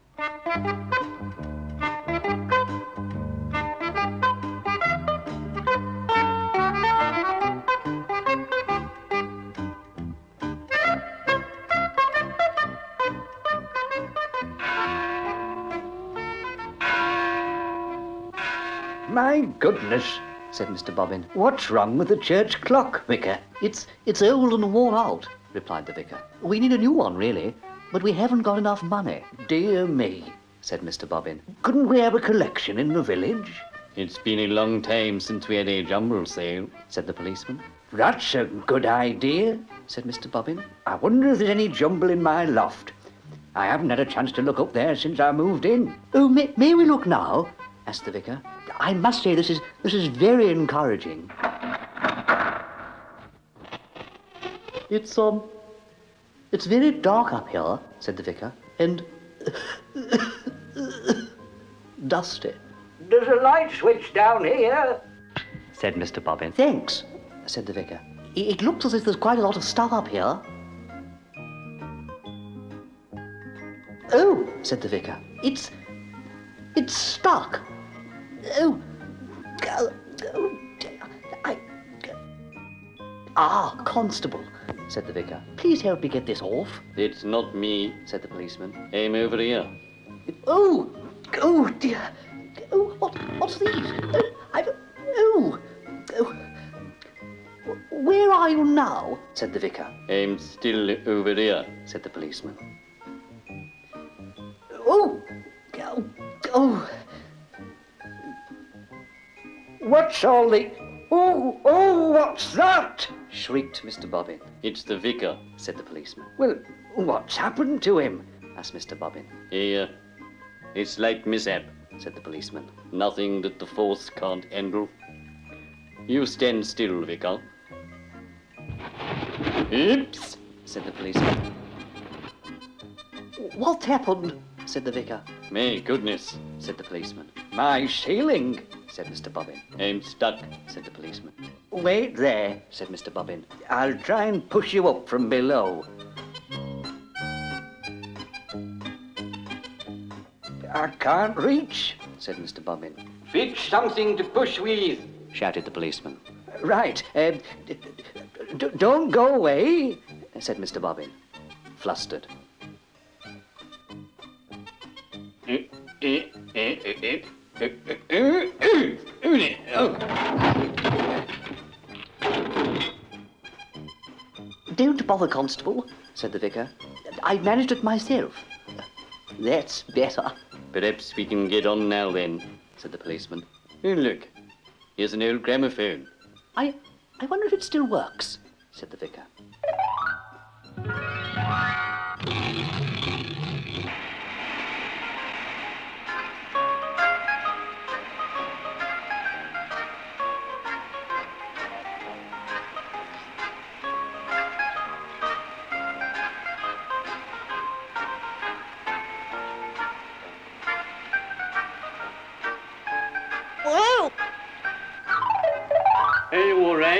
Shouted the policeman. Fortune favours the wicked. said the vicar. Sponge, my lad, said the policeman. Why don't you do something useful for the change?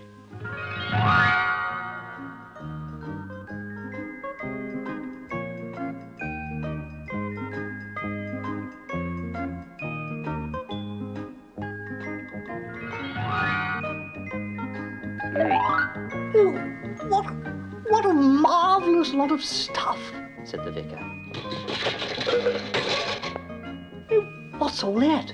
It, it seems to be one of those construction kits, said the policeman.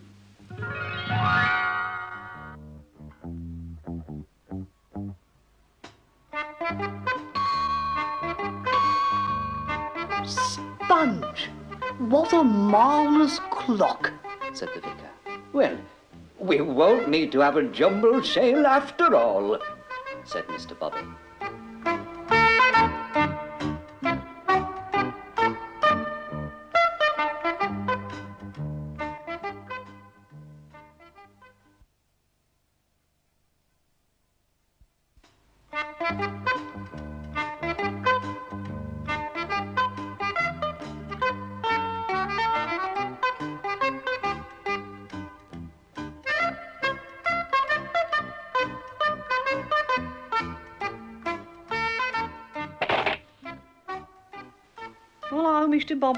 Said Gary. What's all that stuff?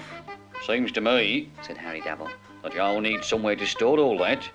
It, uh, it just so happens. In the van. Oh, no, thought Mr. Bobbin.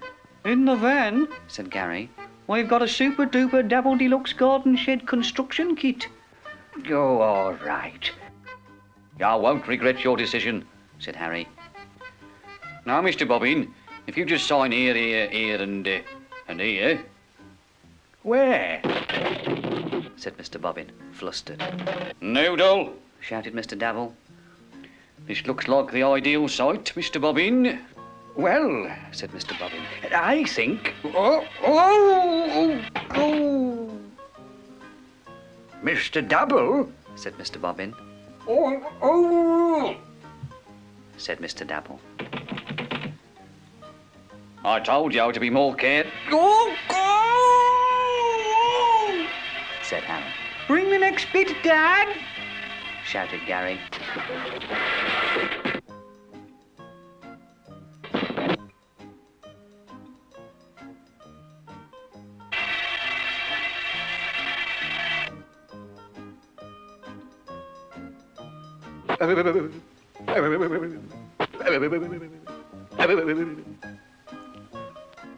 Are you all right, Mr. Bobbin? asked Gary. said Mr. Bobbin. You've got hiccups. That's what you've got, said Harry. You'll need a sudden shock, said Gary. Boo, he said. said Mr. Bobbin. It doesn't seem to have worked. Boo again, said Gary. said Mr. Bobbin. Oh, oh, oh, thank you, said Mr. Bobbin. That's cured it. Ow, said Harry. Excuse me, said Gary. Uh, boo, said Mr. Bobbin, helpfully. Ow, said Harry. That's for hiccups, not thumbs. Right a bit, said Harry. Left a bit, said Gary. Back a bit, said Mr. Bobbin. Hold it, please, said Mr. Dabble. Oh, oh.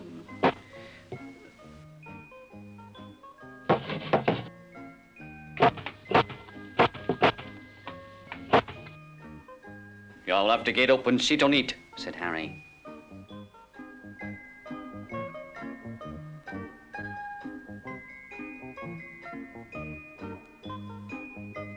Wow, said Gary. Can't you use shorter nails? Oh, It's done now, said Harry. not a bad job, eh, Mr. Bobbin? said Gary proudly. Dad, come out and have a look. He, said Harry Dabble. Yes, Dad, said Gary. The door's at the back, said Harry. Yes, Dad, said Gary. It's right up tight against the garden wall and I can't get out, said Mr. Dabble. Why did you put it right up tight against the garden wall? Oh dear, said Mr. Bobbin.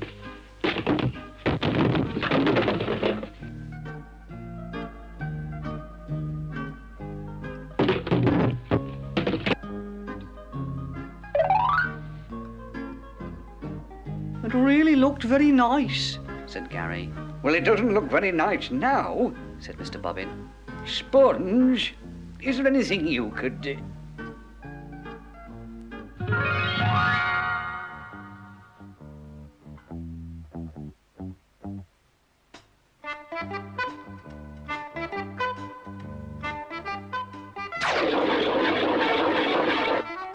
Thank you, said Mr. Bobbin. That's wonderful, Sponge. Why didn't y'all think of that? said Harry. said Gary. Boo! said the others.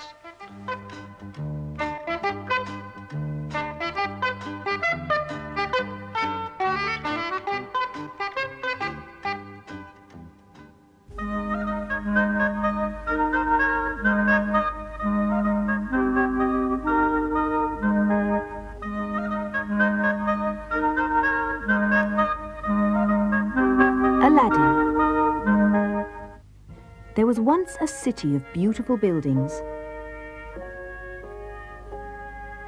And in it, there lived a little boy whose name was Aladdin. Nearly every day, he played in the marketplace.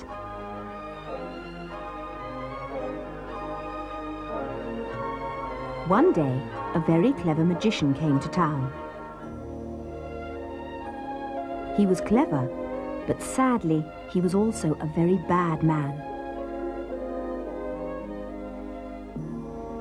He entertained Aladdin with his magic, and Aladdin thought what fun it was to have a magician as a friend.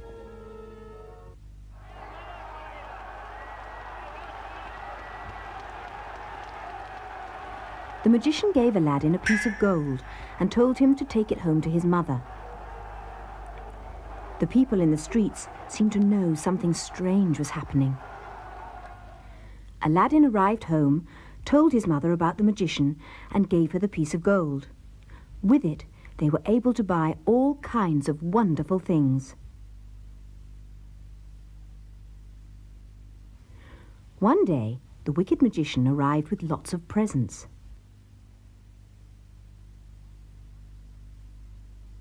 Aladdin's mother thought how nice the magician was and agreed that he could take Aladdin on a long journey, a journey which would make them rich for the rest of their lives.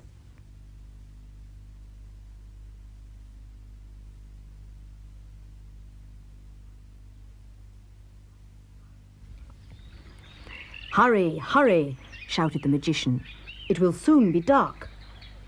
Mile after mile they walked, and Aladdin became very tired.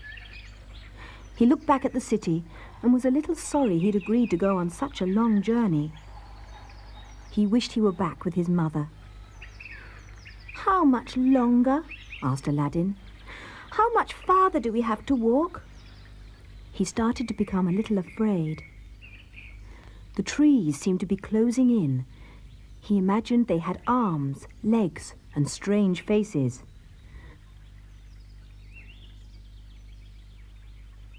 Hurry, shouted the magician, or there will be trouble for you.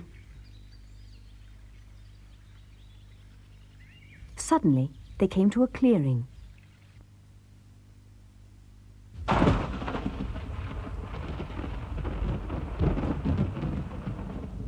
The magician began to speak magic words. There was a flash of lightning, and flames sprang up from the ground. Through the flames came a great white smoke which surrounded the magician.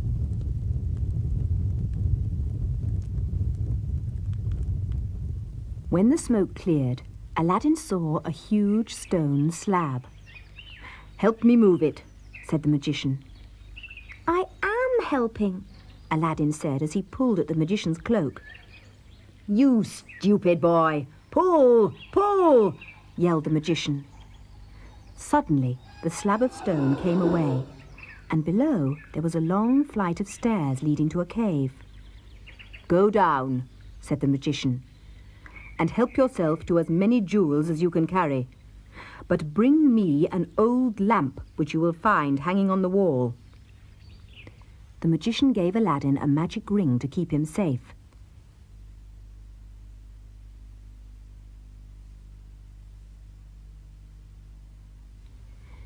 In the cave, Aladdin found jars and jars all filled with jewels and precious stones.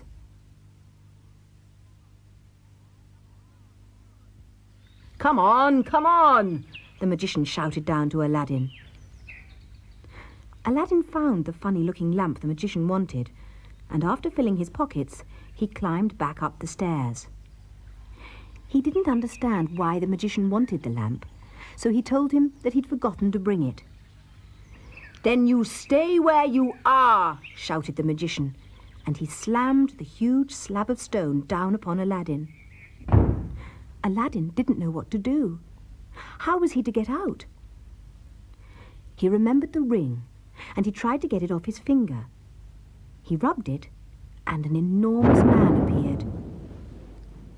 He told Aladdin that he was the slave of the ring, and would do anything Aladdin asked. Oh, please, get me out of here, said Aladdin. The huge stone immediately flew into the air. Out came Aladdin.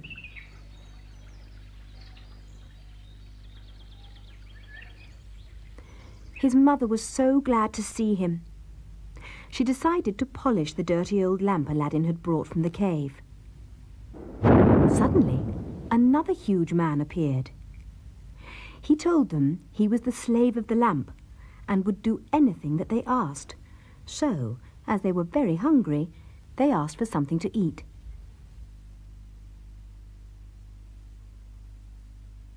Because the lamp would do anything they asked, they became richer and richer and had everything they wanted.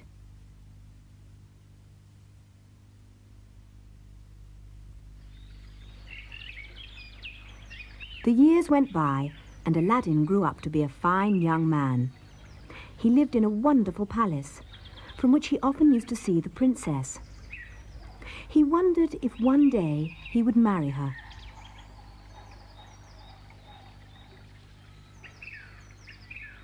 He often thought about the days when he was a little boy and found the lamp which made him rich, and he wondered about the wicked magician and where he was now.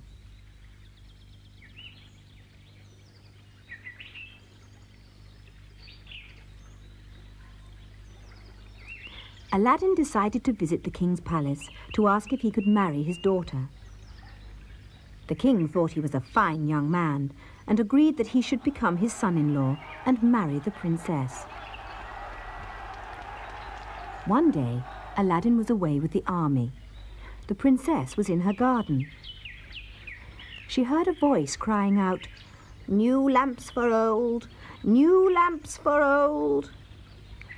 It was the wicked magician in disguise, so that no one would know him. The princess thought how glad Aladdin would be to have a new lamp for his old one. She didn't know what the old one could do, and that the slave of the lamp would do anything that Aladdin asked, so she changed it.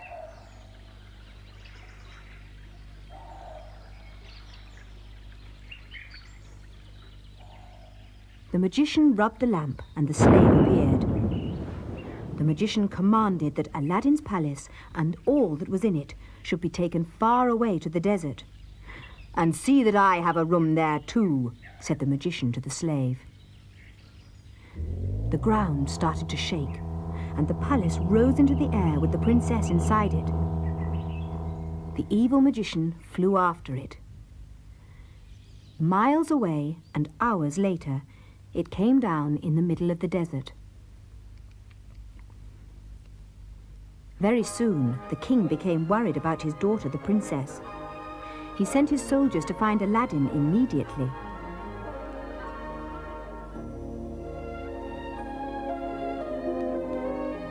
The king told Aladdin all that had happened, and Aladdin set out immediately to find his princess. He searched the entire kingdom, but to no avail. Aladdin was almost ready to give up when he remembered the ring. Take me to my princess, Aladdin asked the slave of the ring. And before you could wink your eye, Aladdin was back at his palace.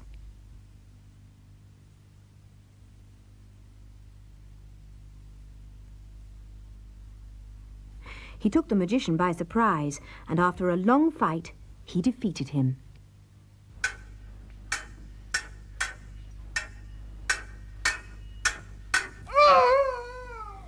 Looking around, Aladdin suddenly saw his princess with the magic lamp.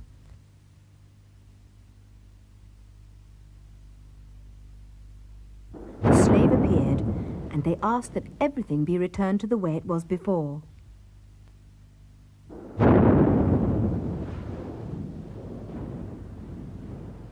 The palace flew back, the wretched magician was no more, and Aladdin and his princess were together again.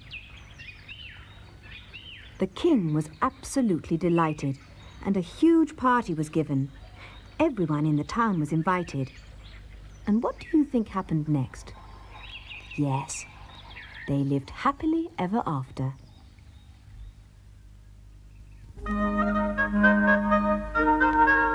Pied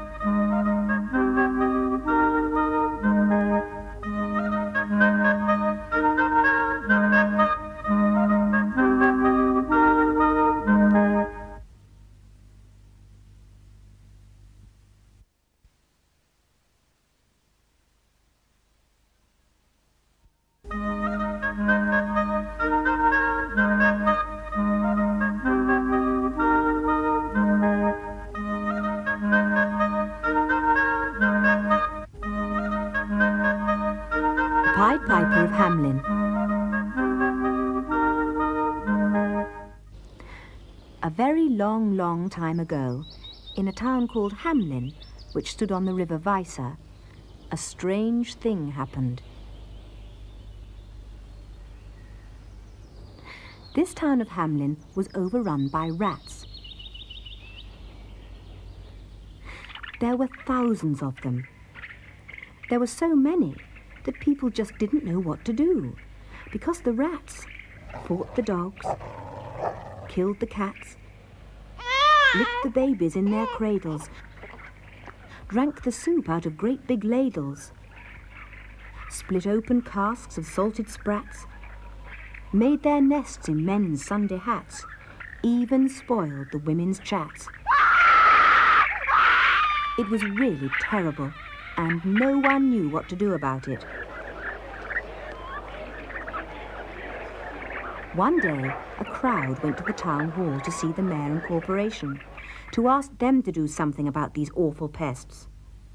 They said if he didn't do something quickly, they would throw him out. The mayor became very worried and upset because he didn't know what to do either. Suddenly, there was a knock at the door. In came the strangest man they had ever seen.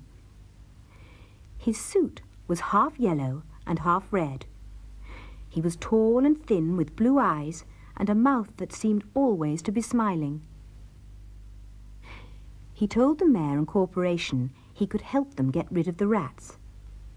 He told them how he could make anything that crawled or flew or walked follow him if he wished. He said his name was the Pied Piper. He had a yellow scarf around his neck, and at the end of it he kept his pipe. He said he could get rid of the awful rats, but it would cost them 1,000 gold coins if he succeeded. The mayor said, If you can do this, I will give you not a thousand, but 50,000. Anything you wish. The piper stepped into the street, put the pipe to his lips and started to play.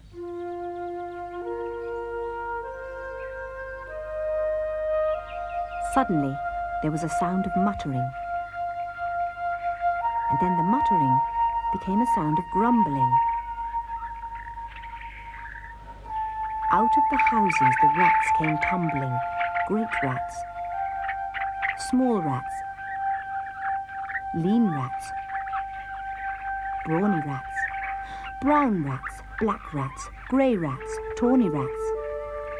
Old ones, young ones, fathers, mothers, uncles, cousins, families running in their dozens. Brothers, sisters, husbands, wives, following the piper for all their lives.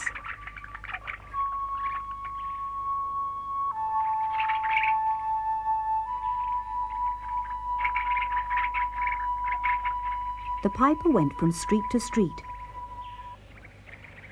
the rats dancing after him.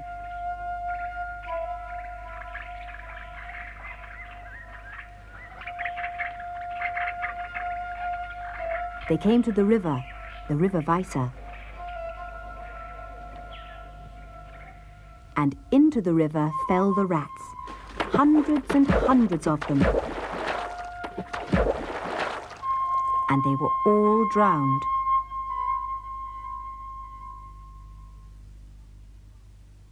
But not quite all. One swam across to the other side. It ran back to Ratland to tell what had happened, to tell how all the rats had drowned, except for him.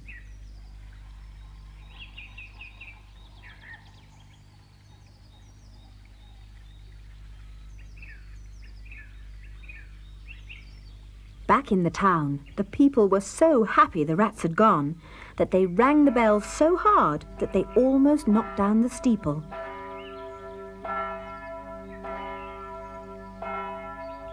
The mayor told the people to get long poles, clear out the nests, and block up the holes, so that never again would there be rats in the town.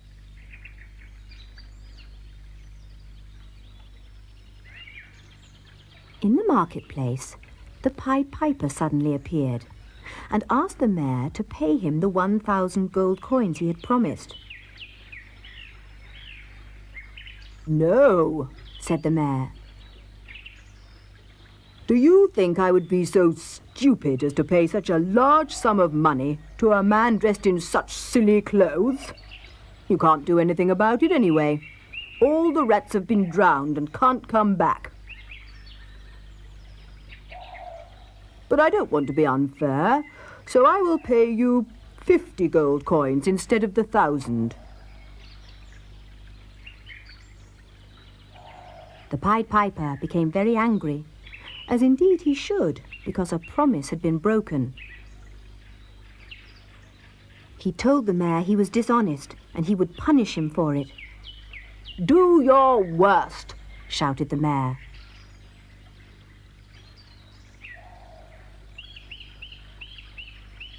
Into the streets again stepped the Pied Piper. He sounded three notes on his pipe. Suddenly, there was a rustling, a sound as if crowds were bustling. Small feet pattering, wooden shoes clattering, little hands clapping, little tongues chattering. Out of the houses the children came running. Little boys and little girls with rosy cheeks and golden curls. Eyes were sparkling, teeth like pearls. Tripping and skipping ran merrily after the Pied Piper with shouts and laughter.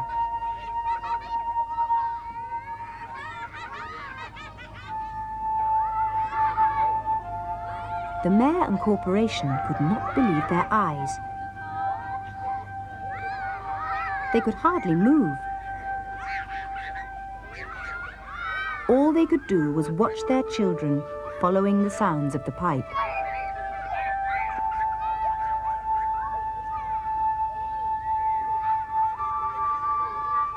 They became very frightened as the piper turned towards the river. They remembered what had happened to the rats.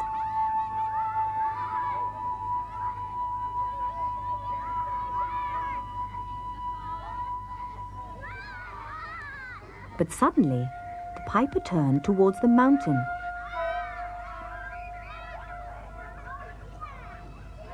It's too high. He'll never get over the top, shouted the mayor.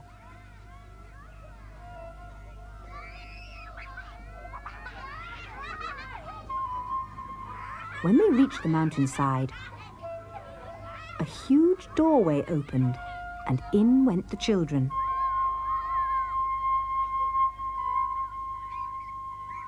Then, with a tremendous bang, the doorway shut tight behind them.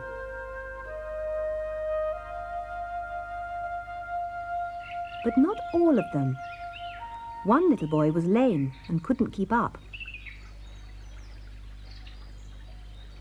He returned sadly to the town, but there were no longer any other children to play with.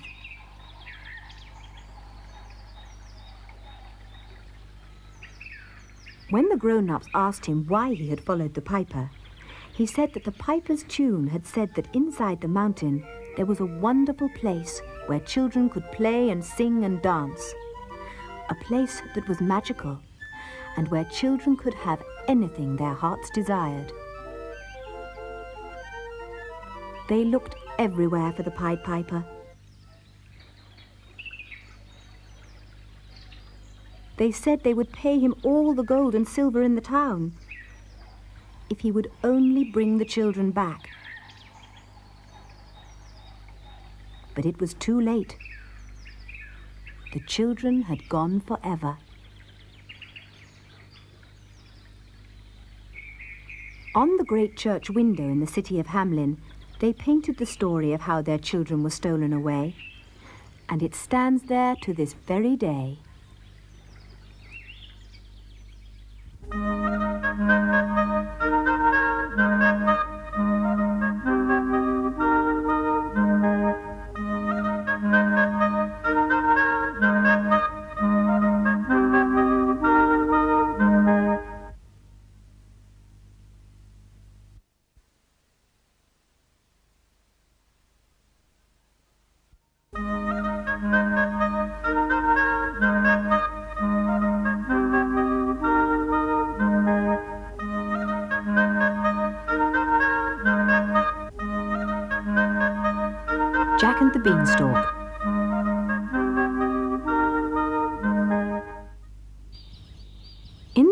Cottage, a little boy called Jack lived with his mother. They didn't have very much money and sometimes not enough to eat. All they had was a cow called Flossie.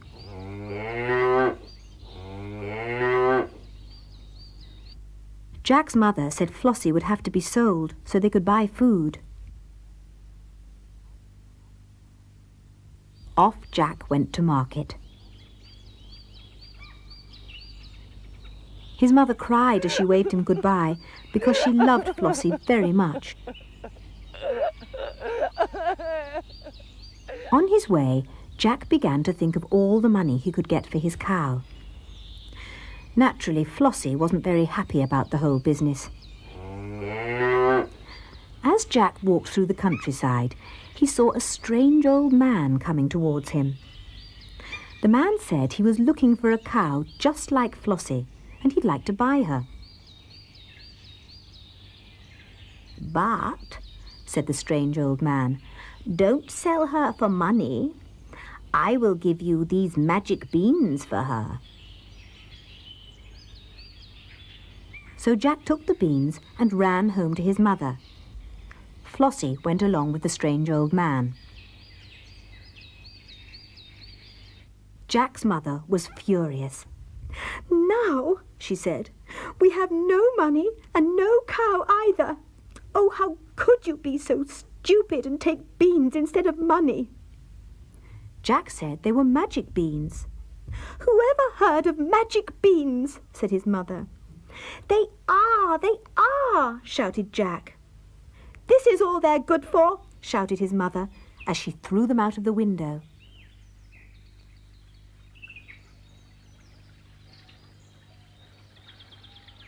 Jack went to bed, very upset. Very upset indeed.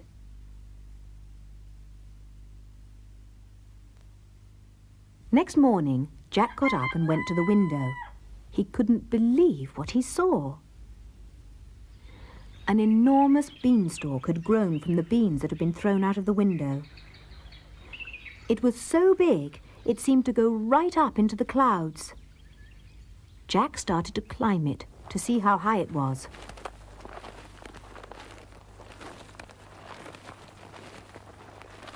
Up, up, up he went. It seemed to go on forever.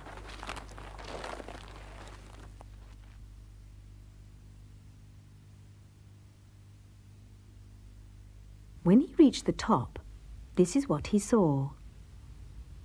An enormous castle.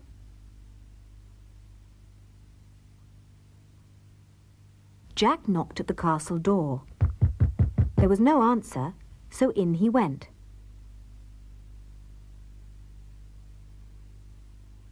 There inside stood the tallest woman he had ever seen. She said she was the wife of the giant who lived in the castle and who liked to eat little boys for breakfast. You'd better look out, said the giant's wife.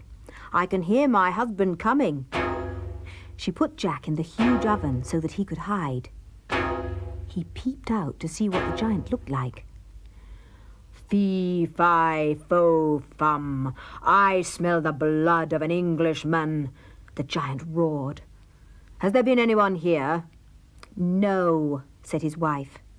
But the giant didn't believe her and became annoyed. He sat at a table and had two whole sheep for his supper.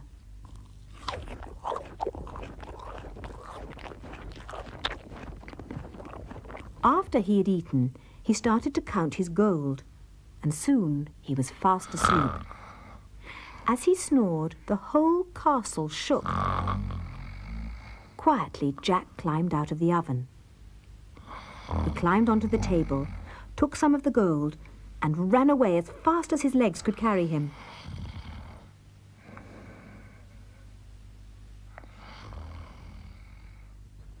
He threw the bag of gold down onto the ground, and down the beanstalk he went after it. At the bottom, his mother was waiting. She was glad to see him again, as she'd been worried about him. With the gold, they bought lots of things they needed and were very happy.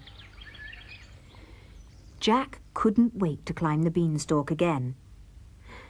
This time, it was different as the giant was at home. Suddenly, Jack heard a tremendous roar. Fee, fi, fo, fum, shouted the giant. I smell the blood of an Englishman. Jack dived into the oven to hide. There's a small boy here, roared the giant. There isn't any such thing, answered his wife. Oh, why don't you play with the hen that lays the golden eggs? All right, said the giant, and sat down to watch the golden eggs being laid. Jack watched everything from his hiding place. Egg after egg fell into the basket, and then, just as before, the giant fell asleep.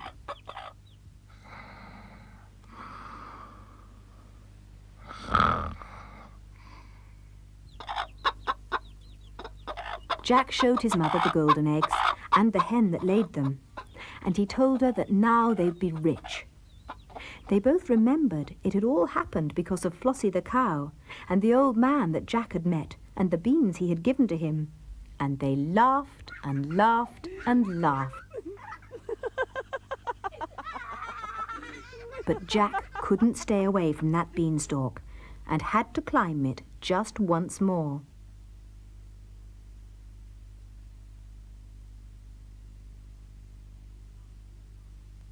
When he arrived, the giant was asleep. In front of him was his magic harp, which played without anyone touching it. Jack thought how much his mother would like it. They'd be able to listen to music whenever they wished.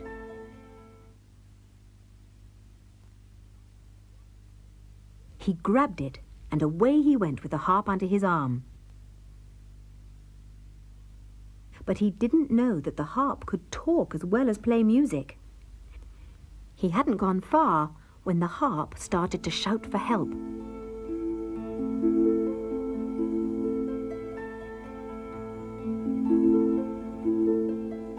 Out came the giant, yelling at the top of his voice. I'll have you for my dinner, he screamed.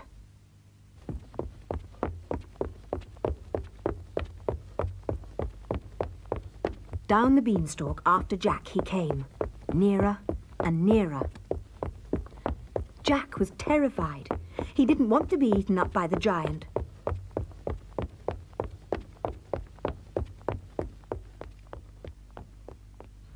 At the bottom, Jack yelled to his mother. Bring an axe! Quick! Quick! he cried at the top of his voice.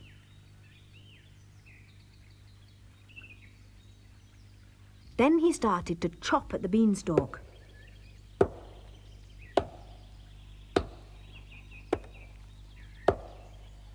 The beanstalk began to topple, with the giant still holding on to it.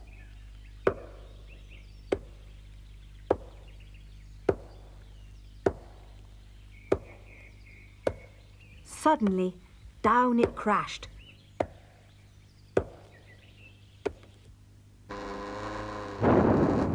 The hole it made was so big, it could have reached to the other side of the world.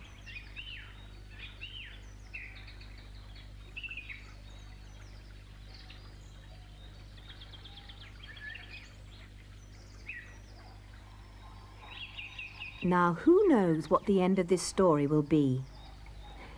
Yes, you're absolutely right.